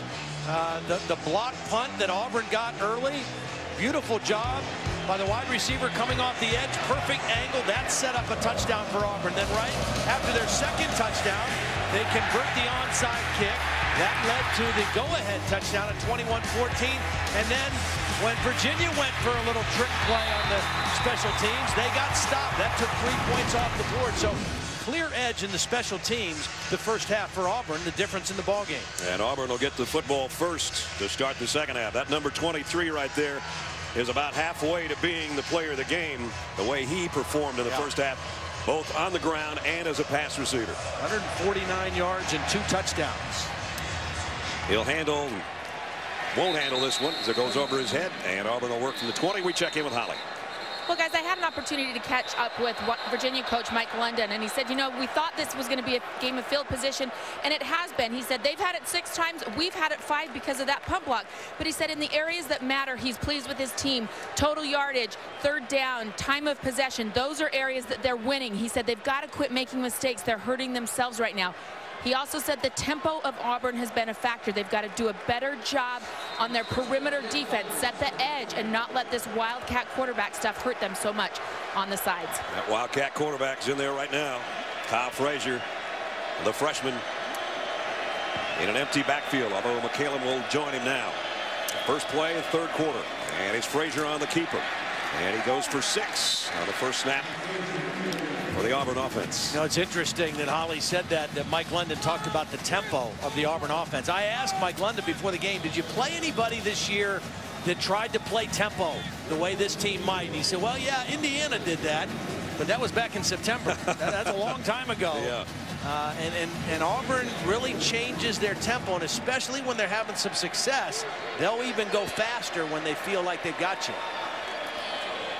And a little mistake, I think, in the backfield there, but Frazier's going to make something out of it anyway.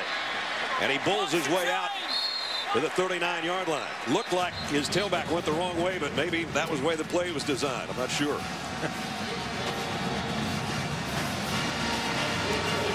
Trotter coming back out. Well, see if he has a continues to have a hot hand in that first half. He was outstanding. Six of 10, 130 yards, good decisions. A long 50-yarder that got him down to first and goal where they scored. Lutzenkirchen in motion. And Mason blasts off the left side and he's out to midfield. Another first down Auburn.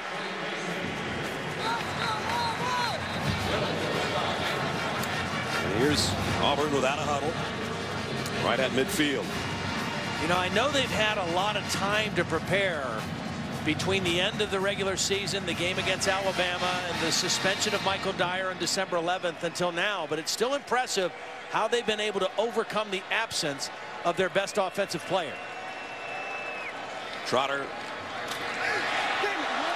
breaks a tackle in the backfield, and he's going to lose a yard, but it could have been a lot worse.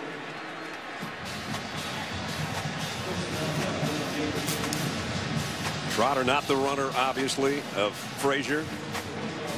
And nobody can be the runner the guy was last year, Cam Newton.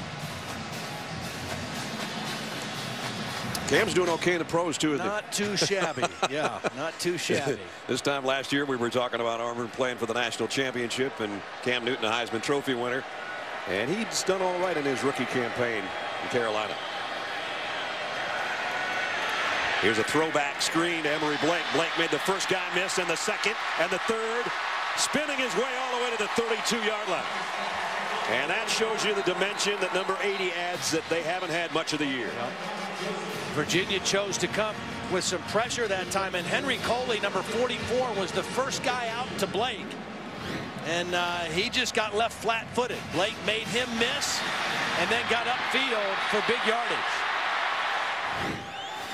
And a first down at the 32, so an impressive opening third quarter drive so far for Auburn. McCalebb trying to get to the corner and a stiff arm, and he's going to be dragged down by Dom Joseph, the cornerback on that side.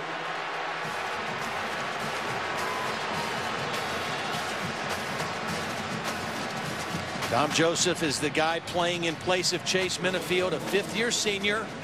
This is kind of not complained about a lack of playing time, has played nickelback when Minnifield was healthy, but he's called on to be the regular corner right now in this ball game. Funny thing, we thought it would be a Minnifield Blake matchup. Two guys that are both sons of former NFL stars. On the pitch, Mason might have a first down. And it looks like he will at the 22-yard line. We talked about how Auburn changes the pace on you. The little quick huddle, the, the, the quick huddle close to the line of scrimmage and snap the ball quick out of that huddle has caused some problems for Virginia. This is about the best you could ask for if you're an Auburn fan to open up the third quarter. 58 yards. This is the eighth play of the drive.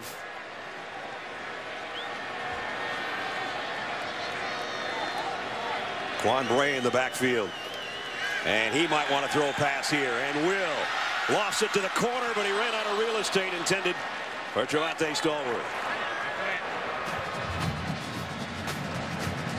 Well, I'll tell you what, if there's Arkansas State football players watching this game tonight, offensive guys, they got to be pretty excited at what they're seeing out of Gus Malzahn's offense because uh, we have seen a little bit of everything. They had it. They had their man. Rodney McLeod, the safety, was beaten on the play. Too far to the sideline. Straight ahead this time and busting out the backside is Mason. Touchdown.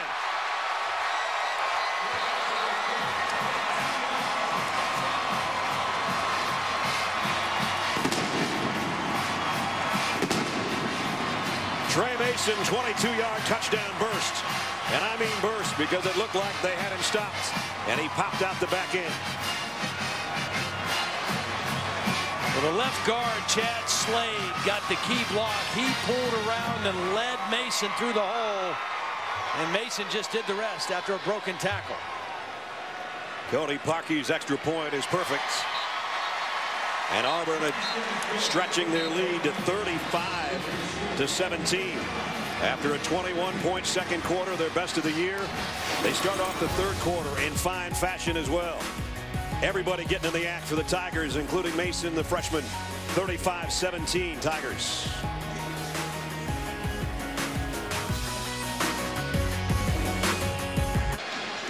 In addition to the combined $6.7 million in payouts to the teams tonight, Chick-fil-A and the Chick-fil-A Bowl also donating $100,000 to an endowment fund for each school. That brings the total scholarship contributions over the past seven years to $7 million.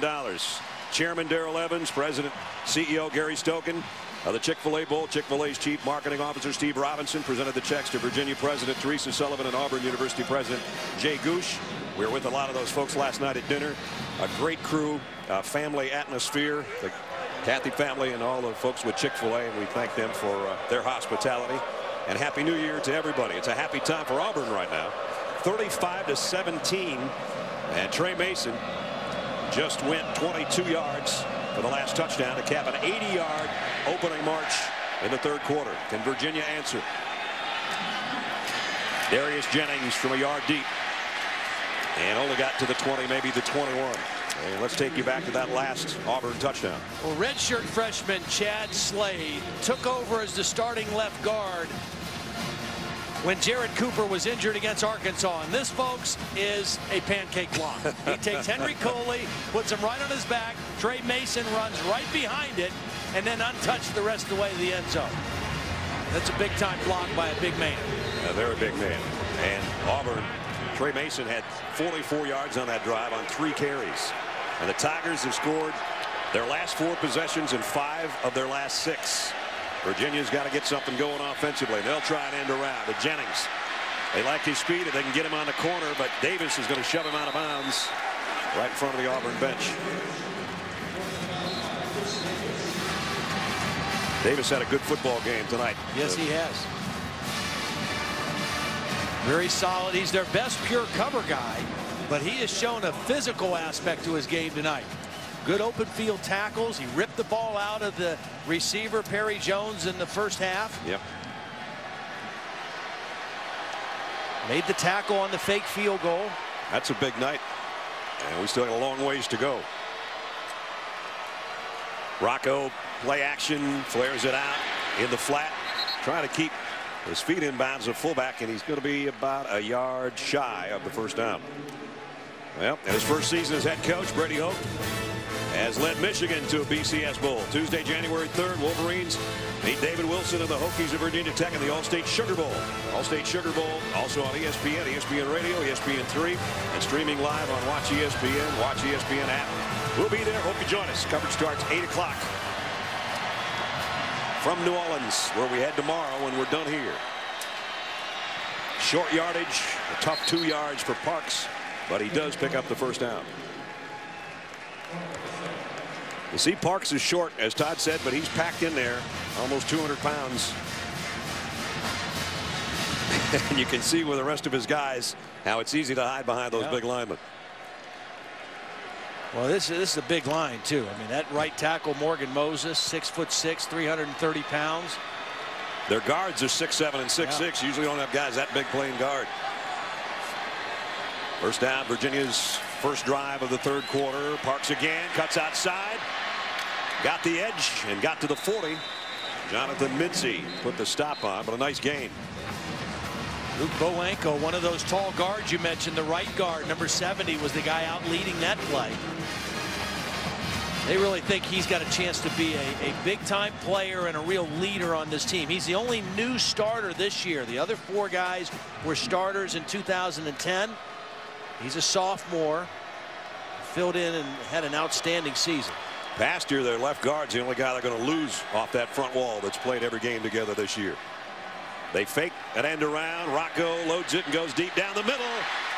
Kris Burd, his big play performer, has got another one.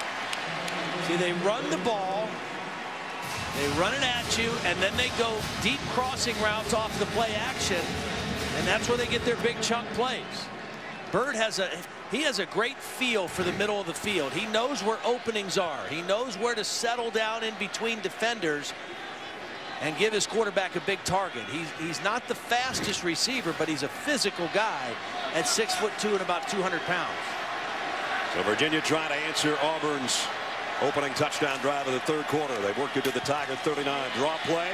Broken tackle by Jones. And he got four out of it. Best thing that's happening right now with this drive. Obviously, Virginia wants to score some points.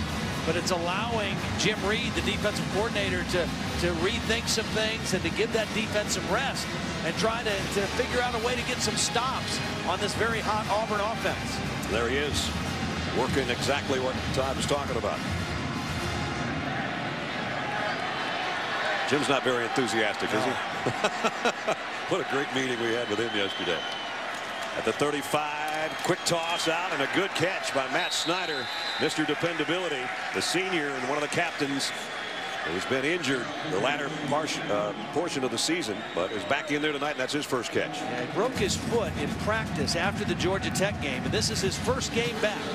Still not maybe 100%, but a really well-liked guy on the team. In fact, they told the story that when he did come back to practice, the first catch that he made in practice, the team kind of stopped and gave him an ovation. Yeah. That's a big third down for Virginia. Third in the yard. Auburn, everybody up close, and with that, Rocco's going to flare it out, complete, down the sidelines. The fullback, Milien, and he's got a first down. Tell you what, this offense, they, they do a nice job of getting their backs out of the backfield and beating underneath coverage. You know, they bunch everybody in and then they release backs out and the coverage comes from inside out and it's just too hard to catch up. El Toro Freeman is trying to get there and he's just way behind the play. But the play fake holds the linebacker and then they release the back out. The guy, Chris Davis, who we said is having a sensational game defensively for Auburn, is down at the 10 yard line.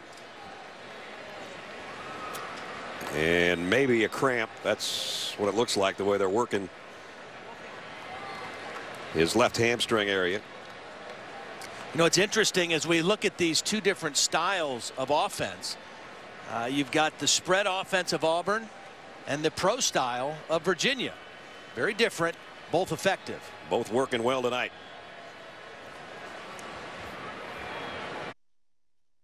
ESPN College Football, the Chick-fil-A Bowl, is brought to you by Great Clips, it's gonna be great, and Phillips Colon Health Probiotics. Raining cows earlier with the umbrellas before the kickoff, and we had our camera on one of those here in the Chick-fil-A Bowl, the 44th annual. In Atlanta, 7.06 remaining third quarter. And Virginia on the drive trying to close the gap on the Tigers who lead 35-17. Rocco fires complete and down to the one yard line. It's going to be first and goal to Ray Keys. You know, Chris Davis had to come out of the game with the cramp. They brought there, there is the end, and they went right at him. They went with Keys, who's a big receiver, and went right at the replacement corner and got the ball inside the one yard line. Smart job by yep. the Virginia coaching staff. Davis, after one play out with a cramp, back in there now, but it's first and goal.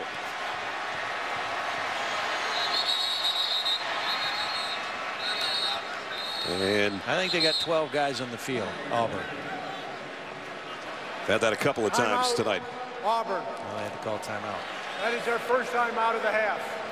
6.25 remaining third quarter. This will be a full timeout. I'm Captain Dina Porter at Bob Mendelem, Afghanistan. I just want to wish all my family in Auburn, Alabama a happy holidays and War Eagle. All right, Captain Porter. Your defense and your military teammates uh, seeing if Auburn can come up with a goal line stand. But it's first and goal. The Cavaliers have got three tight ends and a fourth one as fullback at the one yard line. Parks trying to back in, does. Touchdown. Great second effort by Parks. Spinning, churning, finding the goal line. So both teams with very impressive third quarter drives here. And big offensive line, big tight ends. There's another pancake block. We saw one from Auburn. There's a pancake block from Virginia. That's good serve. Extra point is good, capping a 79-yard drive, very similar to the 80-yarder that Auburn had. And we've chewed up a good chunk of the third quarter with two impressive touchdown drives.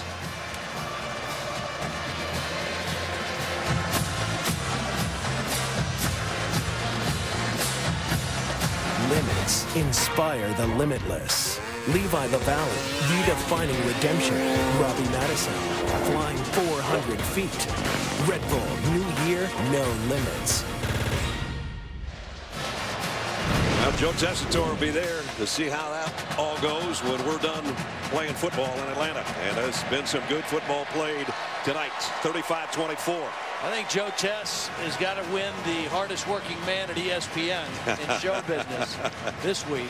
Did the Champ Sports Bowl with Holly Rowe and Rod Gilmore. And he jetted out to San Diego for that thing. And he's going back for the Capital One Bowl. Is that tomorrow? Attaboy, no, Joe. The second. Yeah. Wow.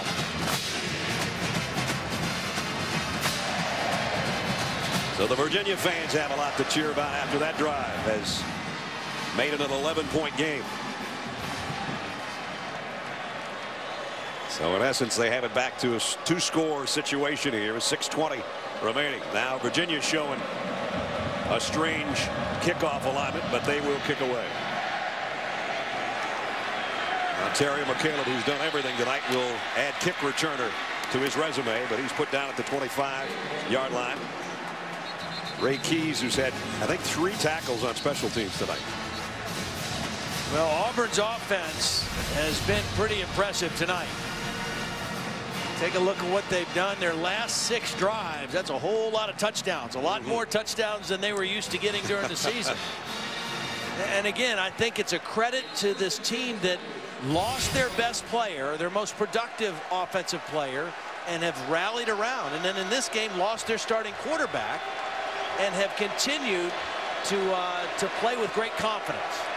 Kiehl Frazier, the freshman quarterback, will keep this one. And a two or three yard gain. Jake Snyder made the tackle. Frazier, when we talked to Gus Malzahn yesterday, talking about Frazier, he says once he gets spring practice under his belt, he's going to be something special. And I said to Gus, does that mean that, in your opinion, he is the undisputed starter starting next year for Auburn? And he said, no question. Of course, that'll be Gene Chizik's decision, not Gus Malzahn. He'll be at Arkansas State. But nonetheless, they think a lot of number 10. Whoa, we got guys moving all over the place. Lutzenkirchen was moving. Reynolds was coming across the line.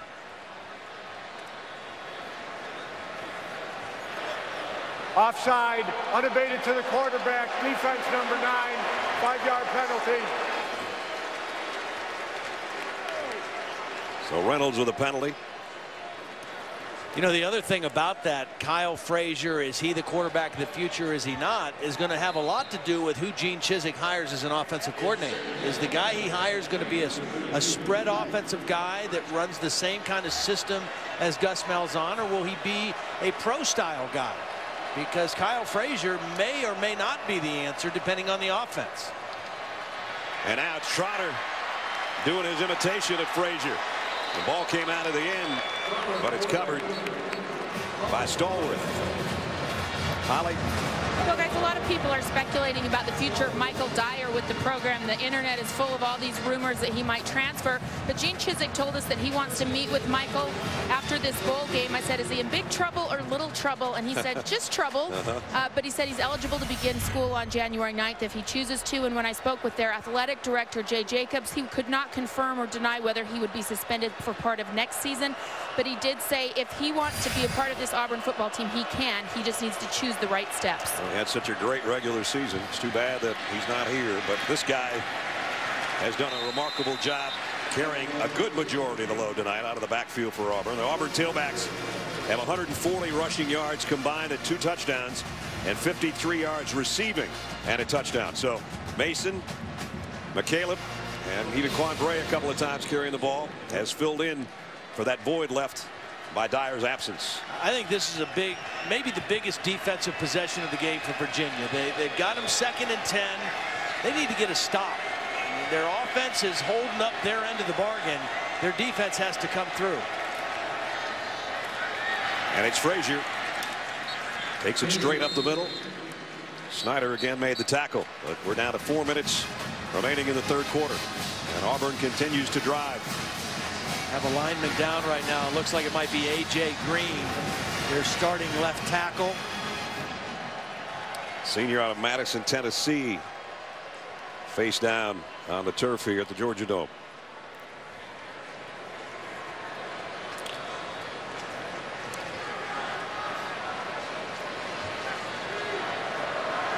And AJ trying to get to his feet.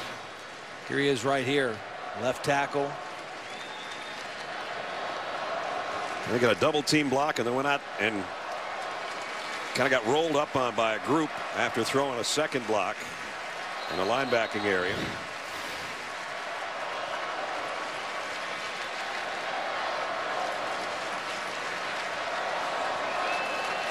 Not built like the A.J. Green of the Bengals and former Georgia star here.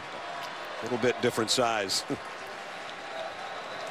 we, saw Eric Mack come into the huddle. He'll take A.J.'s spot on the offensive line. Capital One Bowl week concluding Monday afternoon. Starting at noon Eastern, ESPNU's got the TicketCity Bowl for you. And the Outback Bowl, Michigan State and Georgia. Capital One, Nebraska, South Carolina, Ohio State and Florida, the TaxSlayer Gator Bowl. That is one big day of football for you on our ESPN networks. Third down and five. As Todd said, can Virginia get a stop? This would be the place they'd want to do it right now. Trotter. Bray in motion on third down and five. Play action. Pressure from behind. He zips it down the middle and right into Emory Blake's stomach, and he dropped it. That was a good throw by Trotter. Virginia came with pressure. He stayed right in there, stepped up a little bit in the pocket, and made a nice throw to Emery Blake. Blake not able to, to hang on. Watch the pressure come, steps up a little bit away from it, and that would have been a first down for Auburn. Instead, they do force a punt. They get the stop that they were looking for. Dominique Terrell waits on Steven Clark's kick. And he's going to get out of the Gotta- way. Got to go catch that. I don't know if he lost that completely. He headed in the exact opposite direction of where the ball was heading. I mean, you catch that ball and it's on about the 12. You let it bounce, it's inside the 10. Don't you think he lost that in the lights? He He, looked up and he just Yeah. headed for the sideline. So as it is, they get the ball back. The bad news is it's at the six yard line.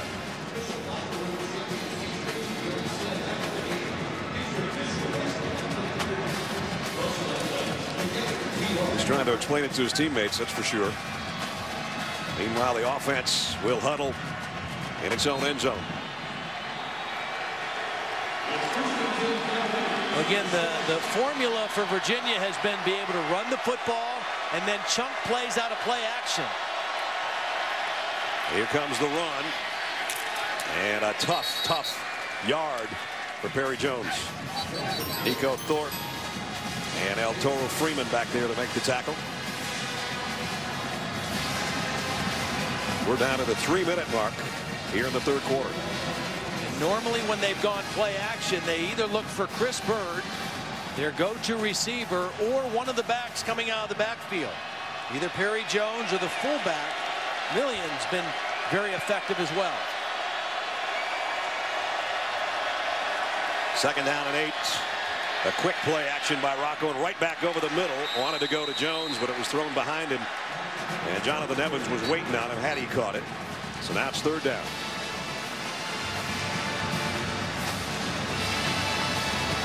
Eight for 11 tonight. It's been a very good down considering it wasn't good during the course of the year for the Cavaliers. I wouldn't be surprised if Auburn and Gene Chizik come with some form of pressure here and see if they can force the sophomore quarterback into a mistake.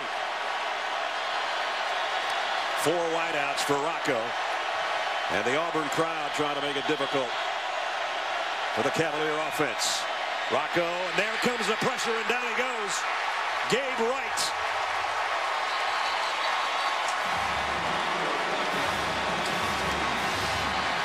You called it, partner. Well, this was pressure, but it was only pressure with four men rushing. This was just four guys whipping five, is all this one was. Auburn's defensive linemen just turned it up. And that front five, that's played very well tonight for Virginia, didn't get the job done. And now Virginia has to punt, and Howell's got his back of his feet almost out of the end zone. And he had it blocked again out of the back of the end zone.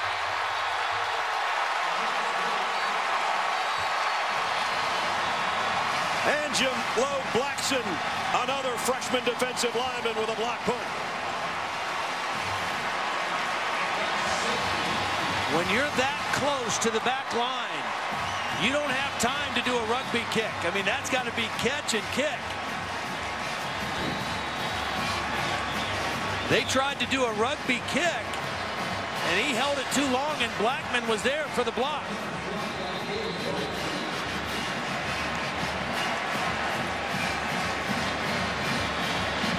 Wow. So add a safety to the Auburn attack tonight.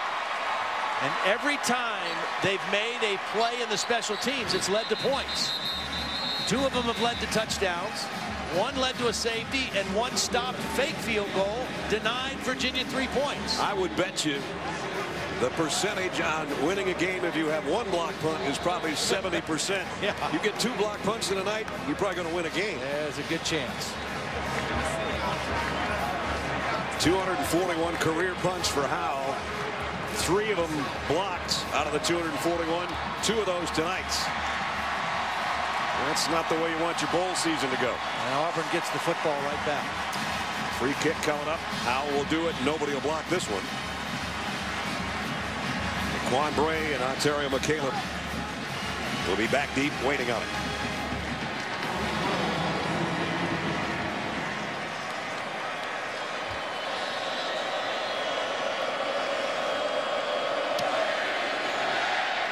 It'll be Bray who will camp under this one at the 22. Reverses his field. Quan Bray's got some blockers. And now the punter won't get him. It's all the way down to the 10-yard line.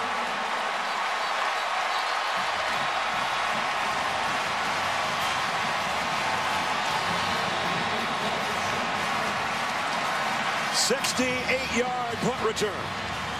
Free kick return, I should say. It was a good kick. Probably too good because Bray had a lot of room to maneuver and then the speed to get outside the punter and outside the edge. And yet again, another special teams play that has gone in the favor of the team wearing blue tonight. Actually 62 yards because they're spotted at the 15. And here's Auburn with another golden opportunity. Blitz coming. Trotter pump fakes. Goes to the corner to Lutzenkirchen and overshot everybody. And this has been a game of big plays, trick plays. Not good special teams play by Virginia. But entertaining for sure. Entertaining except for Clint Moseley, the starting quarterback for Auburn, who went out with an injury in the first quarter. So since that time, it's been a combination of Barrett Trotter and Kiehl Frazier. And in this case, Trotter with McCalebb on second down and 10. Low snap, play action, Trotter backpedaling, and incomplete, intended for McCalebb. Cam Johnson was the guy putting the pressure on.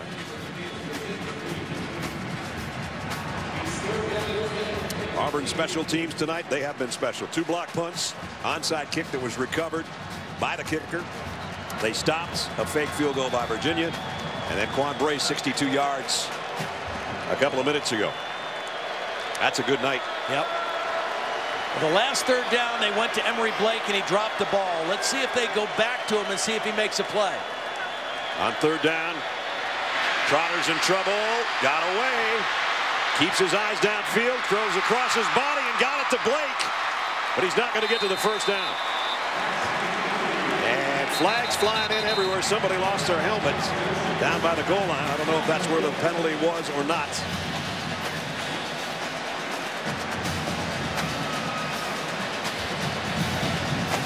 Corey Mosley, the safety, is the guy who lost his helmet.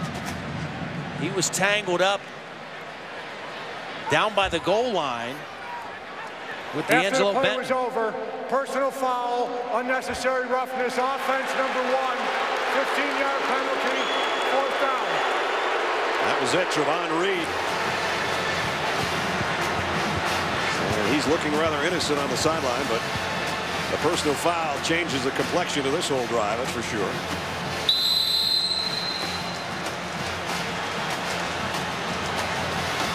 It's fourth down back at the 23-yard line. And so instead of what looked like uh, maybe another touchdown after the long punt return, they're going to have to settle for a 40-yard field goal try by Cody Parkey. He missed from 44 earlier in the game. This one from 40. And now we got another flag down. Offense. Wow. Five-yard penalty, Ooh. fourth down. Auburn imploding here a little bit. Well, this could Just be a when we real, started bragging about Yeah. their special teams. this could be a real Houdini escape job for Virginia if they come away with no points. There's no penalty for delayed game. Auburn called the timeout prior to the penalty. so Auburn called the timeout, but that means they're going to be down to one. With just over a quarter to go. That Let's is Auburn's second timeout of the half. This will be a 30-second timeout. And with that, we got time to check in with Rece Davis. Reese?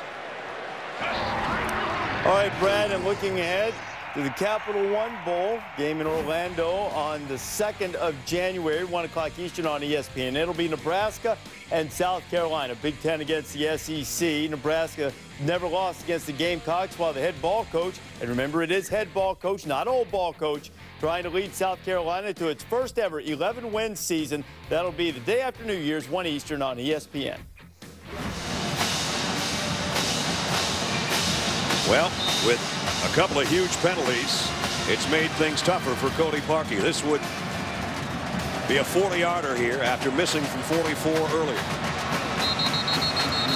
And now we got flags down again. False start. Offense number 62. Five-yard penalty. Fourth down.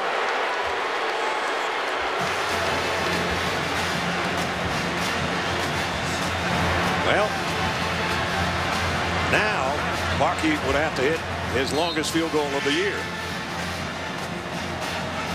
If they get the snap clean and don't have another penalty. And remember, Matt Conrath, number 94, is right in the middle there. He's got a real low stance. He's blocked three kicks this year.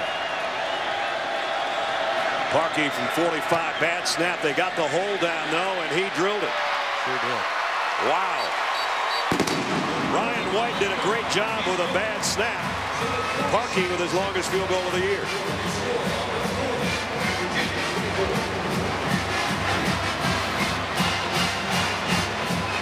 That is a great job by your holder in a hurry.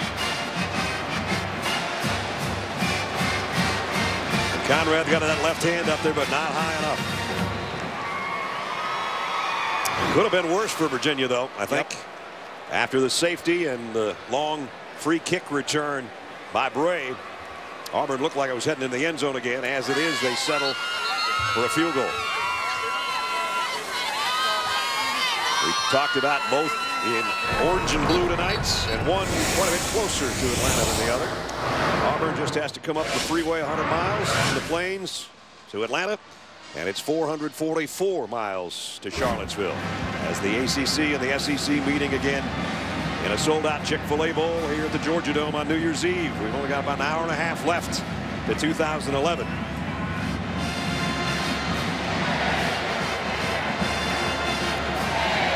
Somebody's going to be doing some celebrating in town tonight.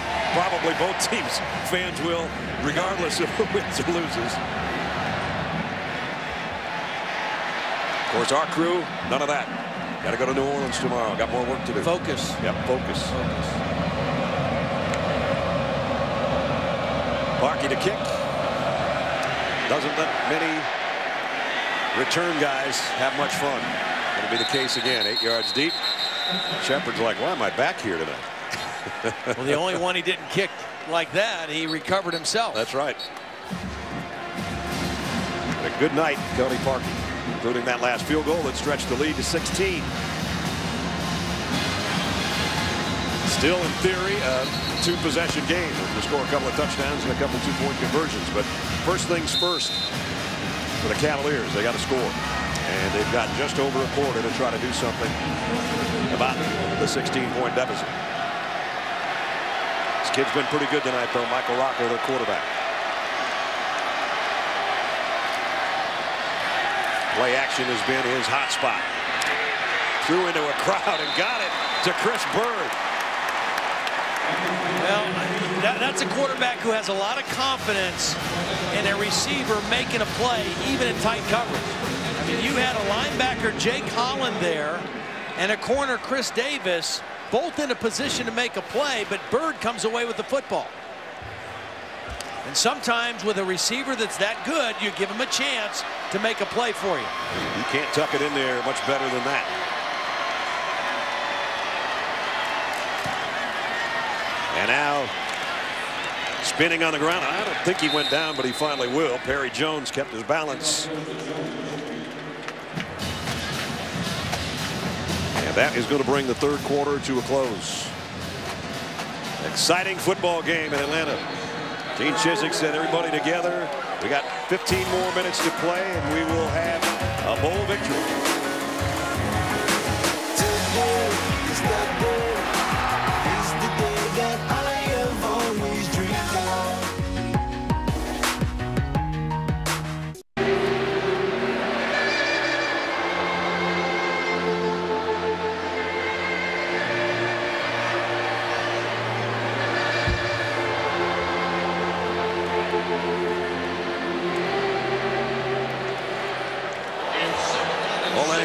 Starting a new tradition here at the Chick-fil-A Bowl at the end of three quarters as we are 90 minutes away from 2012.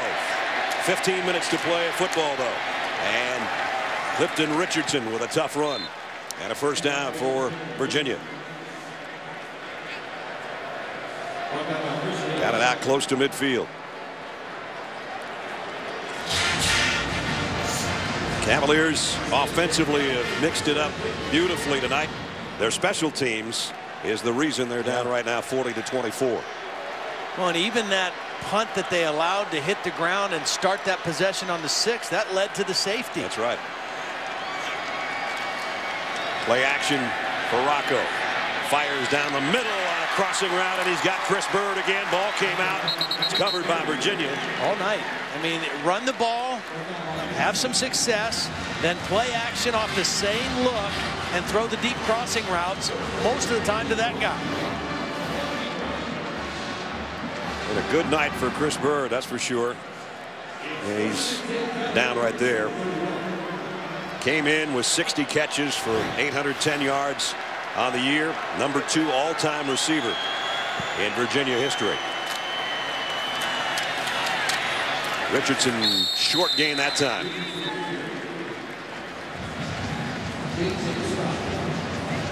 Emory Blake and Kris Burd, two main targets for their respective quarterbacks tonight. They both had really outstanding games. For Kris Burd, though, a couple touchdowns. Blake, his catches led to touchdowns. Yeah. Well, he's a dynamic guy, and, and, and, you can see the difference that he makes with this offense. Not only catching the ball, but also just being out there, his presence.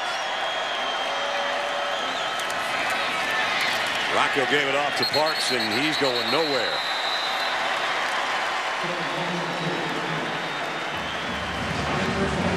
Lemonier and company there to meet the Virginia tailback.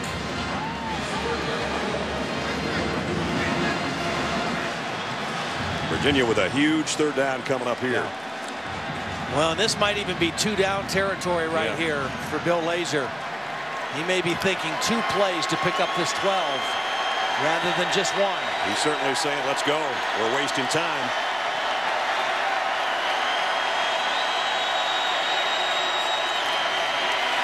Rocco hit as he throws, and did he tuck it in there again to Burd? No catch. Gabe Wright was in there pretty quickly. For the most part, Michael Rocco's had good protection tonight and the ability to step up and throw. This time, Gabe Wright's going to get to him right as he's releasing the football, and he's not able to step through the ball and get enough on that pass. The ball clearly hit the ground before it got to Burd. Well, it's two down territory anyway, even though it's still fourth down in a bunch. Fourth and 12.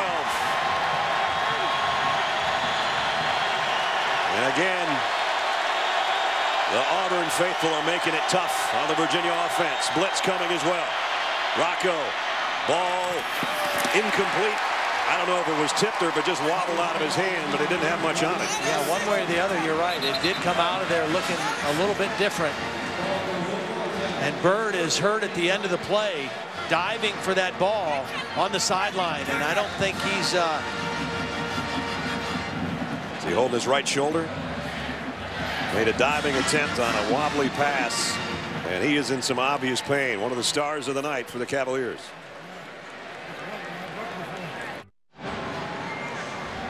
Kris Burd, the senior wide receiver, appears that his right shoulder that was injured on that diving attempt on that fourth down pass. He's had a big night, over 100 yards receiving, tying school record set by Germane Crowell with his 900 yard receiving night.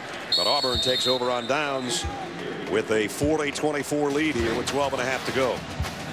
This is the play that Burd got hurt. The ball was kind of wobbled out of Mike Rocco's hands. It wasn't a good pass. And as Burd went down to make the catch, right away you could see him favoring that right shoulder. Auburn brings Kiehl Frazier back in at quarterback with a second and six. What they've done offensively, they've moved John Sullen, who started the game at right guard, out to left tackle to take the place of A.J. Greene. Frazier will keep it, but only got a yard or two. Cam Johnson submarined him to make the spot stop as we take a look at our quarterback spotlight brought to you by Dove Men Plus Care. And these two guys, after Clint Moseley went down to an injury in the first quarter, they've combined for those numbers. Frazier hasn't attempted a pass, but he's got 48 on the ground.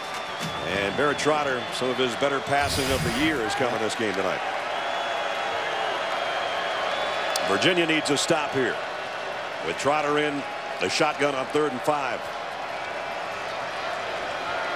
They'd like to keep this drive going of your Auburn Tiger fan just to use some more time. And there's a wraparound handoff to McCalebb, and he's got a first down and a bunch more. Onterio McCalebb, huge night. Filling the void left by the suspended Michael Dyer, the All-SEC tailback. And this guy's having an All-SEC bowl game type of night. Look at this wraparound. They almost dropped it. And it's not an easy exchange anyway, but when you have a guy that quick who maybe takes off a hair sooner than he should, it's really tough. That ball stayed on his hip for a little bit, and it was kind of like Trotter just pushed it around in. He had two 100-yard games his rookie year, his freshman year, and he's got another one tonight. And now it's Quan Bray his freshman, ooh, he got ripped out of bounds. Flags will fly. They'll add 15 on to Virginia's Corey Mosley. Well, Mosley's been close for a good part of this second half. I mean, he's been uh, involved in a couple After things. the play was over, personal foul, unnecessary roughness, defense number seven, 15-yard penalty, first down. A little frustration, I think, on the part of Mosley. Senior out of Richmond, playing his final game in a Cavalier uniform. So Auburn not only keeps the drive alive, they have a couple good-looking plays, and then pick up 15 more, and they're down in the red zone again. Tre Mason back in the backfield with Trotter. And he's going to get the carry. Brought down by Taliaferro. So Auburn will see the clock tick inside the 10-minute mark before they snap it again.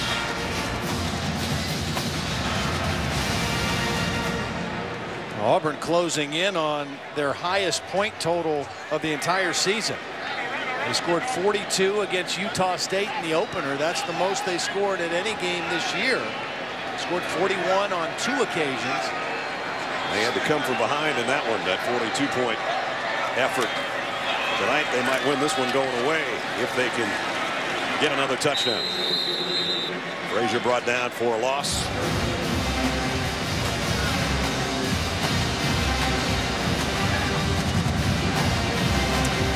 Eight games last season of 300 plus yards rushing. Cam Newton did a lot of that. Dyer did a lot of that. And tonight they got 242 with Gus Malzahn calling his last game as offensive coordinator of Auburn. It's called a good one. Yeah. He hasn't left very many plays in the cookie jar. That's, for, that's sure. Third down and eight. They fake the fly sweep, and now Trotter is heading backwards. Still on his feet. We're going to have a holding call, I think, as he got rid of the ball, and it was hit as he threw. I don't know if that's holding or if, if the guy grabbed the face mask on the way back. Nope, you're right, holding. Pretty good pursuit by Brent Urban.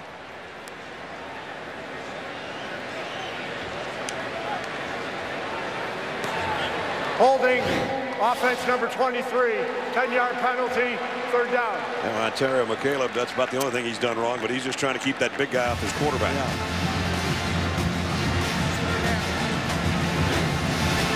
Coach Malzahn, I like the plays you called, but don't make me block a defensive end anymore. we got bigger guys for that job. There's the Chick-fil-A Bowl trophy. That's what they're playing for. Both teams have had a great time leading up to 2012 here in Atlanta. There's a funny looking set, including A.J. Greene, the tackle out in the slot. Virginia's going to call timeout. Timeout, Virginia. that is the first time out of the half. Well, that's the first time we've seen the big fella in the slot. We'll take a timeout with him. Sports Center is indeed. That's not right. No, we got we got motorcycles, we got snowmobile jumps, we got Joe Tessitore after us. ESPN College Football, the Chick-fil-A Bowl, is brought to you by Chick-fil-A. We didn't invent the chicken, just the chicken sandwich. And the new Capital One Cash Card for people who want 50% more cash. From the fabulous Fox to the Georgia Dome as we're down to the last nine minutes of the Chick-fil-A Bowl. And a long third down opportunity here for Auburn. Leading 40-24. Trotter. Waiting now going to take off on his own. He'll not get 18 yards that way but got back to maybe field goal range. Well it's a good decision. You know you, you don't do something foolish there. He's done a nice job of taking care of the football. You take a look downfield it's not there. Get what you can get and set up Parkey for another nice field goal attempt. Nailed his last one his season long 45.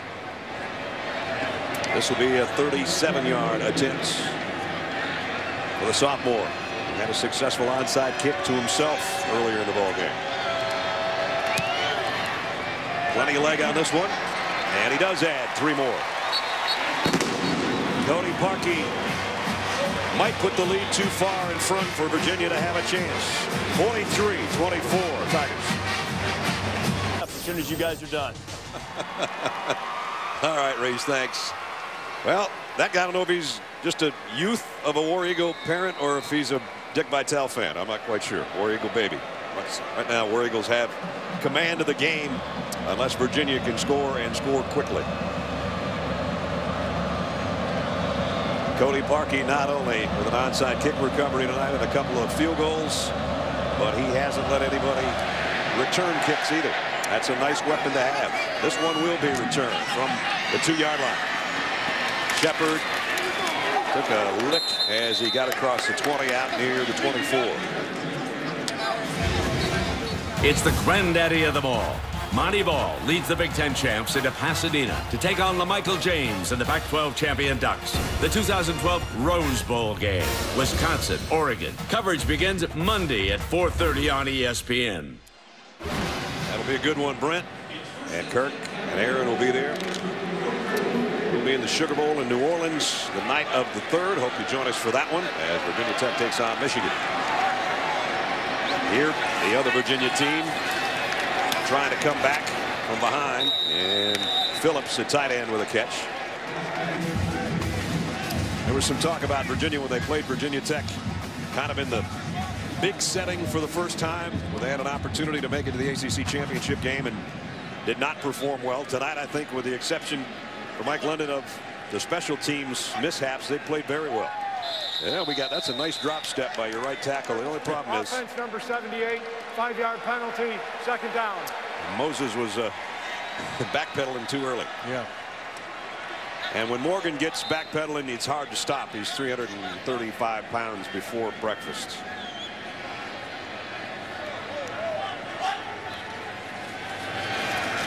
Rocco throws complete. Nice catch.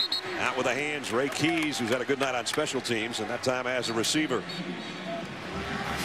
Well, I think that Mike Rocco has played a pretty doggone good football game today. Yep. You know, for, for this Virginia offense, he's been accurate. He's been on time. He's been in command of the offense. At that career night. Of course, a lot of times with quarterbacks, those career numbers come in losing efforts because you're throwing it every down. His dad's had his eyes closed for half the game. And that one is up in the air and intercepted. Jake Holland, the linebacker, off the tip ball. And Auburn's got it back. Just when we showed that Mike hadn't thrown an interception, this one might not be his fault, but now he has.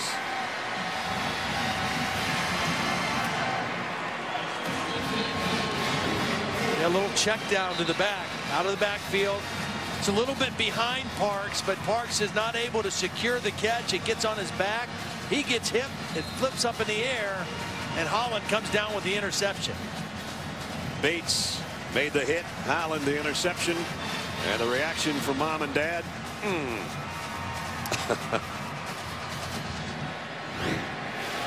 and now Auburn's got it back, and they just like to salt away the next seven minutes here. And they come with a play that got them a touchdown earlier in the ball game. It's got to be the first time they've called the same play twice, isn't it? Yeah. At least that kind of play. Pretty smart play that time by McCalebb, too. Even though uh, he, he lost yardage, he went down in bounds to keep the clock moving. I mean, they, they realize they don't need any more points. They just need to run the clock. And a lot of times you wonder, a team that likes to play this fast and no huddle, can they milk a clock? Well, yeah, they still can. They don't have to play fast even if they don't huddle. And that time McCalebb made a good decision to, to go down inbounds. Onterio goes out. Tre Mason in the backfield for Auburn. They fake it to him and throw the quick pass to Blake. Emory Blake's had a nice night after coming back and finally being healthy. We were talking with him. I said, do you have a good arm? Do they ever let you throw? And he said, no, I got a good arm. Of course, his daddy had a great arm, played 14 years in the NFL, Jeff. But he said, I spent so much time growing up with my dad throwing passes to me that pretty much I was born to be a receiver, I guess. And again, they stay in bounds. They're going to use as much clock as they can here. Caleb checks back in. They've got plenty of time to look to Gus Malzahn on the sideline. And now they'll work it all the way down to the last second before they snap it. Trotter pump fakes. Now he's in trouble and got a block from Greene. Still on his feet. Barrett Trotter looking like Fran Tarkenton here. And he got another block. And he's got a first down. wow. Good for him. Been a tough year, but it's been a good night. Well, Kiehl Frazier may very well be the quarterback of 2012 for Auburn. But to finish out 2011, it's Barrett Trotter's football team tonight. Yep. A 16 second play that time, all Barrett Trotter with some help from his buddies up front.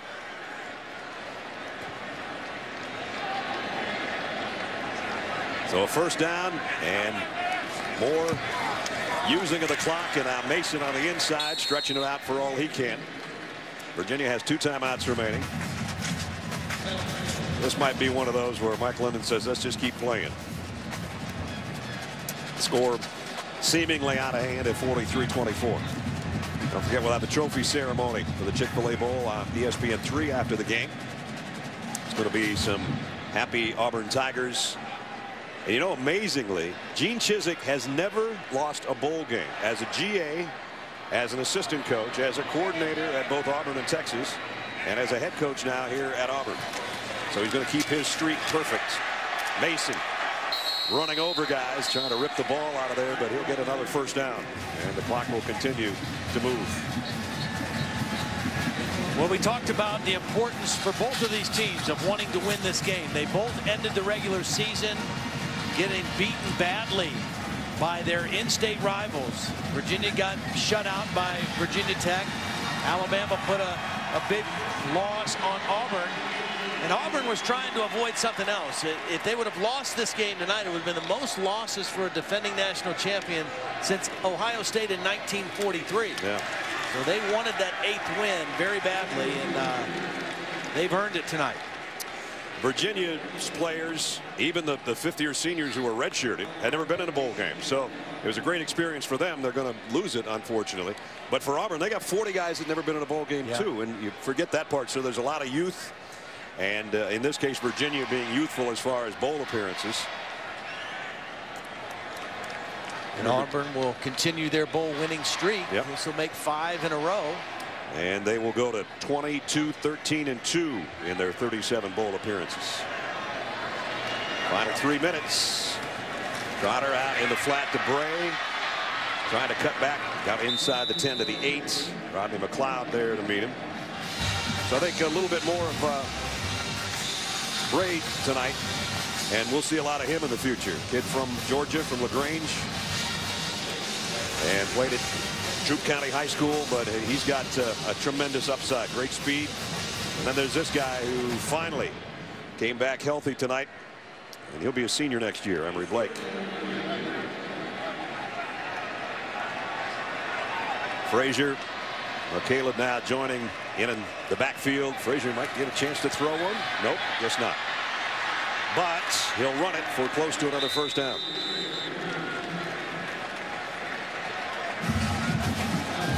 And we'll be inside two minutes the next time Auburn has to snap the football.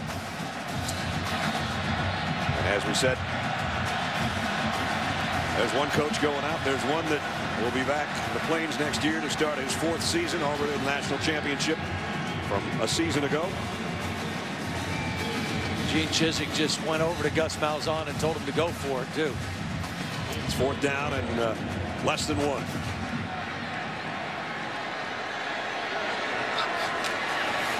Frazier. And that big body of his just got the one. No, we don't need a fight in the last minute and a half of the game, guys. And it's first and goal Auburn.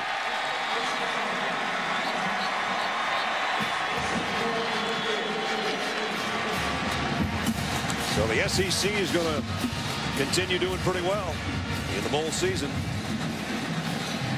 Tigers will be eight and five. Those five losses, all the teams in the top 16 in the country in the rugged SEC. And now the play everybody loves if you're quarterback and good for Barrett Trotter, but even better for this guy. Our Capital One player of the game.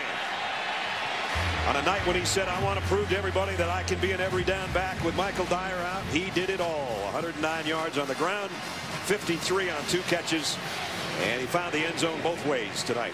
Congratulations. And congratulations to the Auburn Tigers who win their eighth game of the year as they have taken the 44th Chick-fil-A Bowl and they love playing in the Georgia Dome and they'll be right back here in the Chick-fil-A Kickoff Classic next year against the Clemson Tigers where we'll have Tigers and Tigers yeah, looking for their coach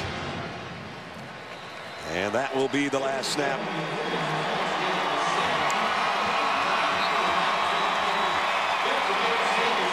still undefeated in bowl games Gene Chizik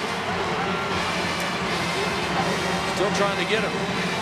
well it took him a long time they got Gus Malzahn that's who they were aiming that one at Good luck, Gus, in your head coaching career at Arkansas State as he called a beautiful game tonight on offense. Gene Chizik called his own defense. And the SEC prevails over the ACC in the Chick-fil-A Bowl. Final score 43-24. It's been a presentation of ESPN, the worldwide leader in sports. Don't forget, Red Bull New Year No Limits is coming up for Todd and Holly. Brad Nessler. Happy New Year.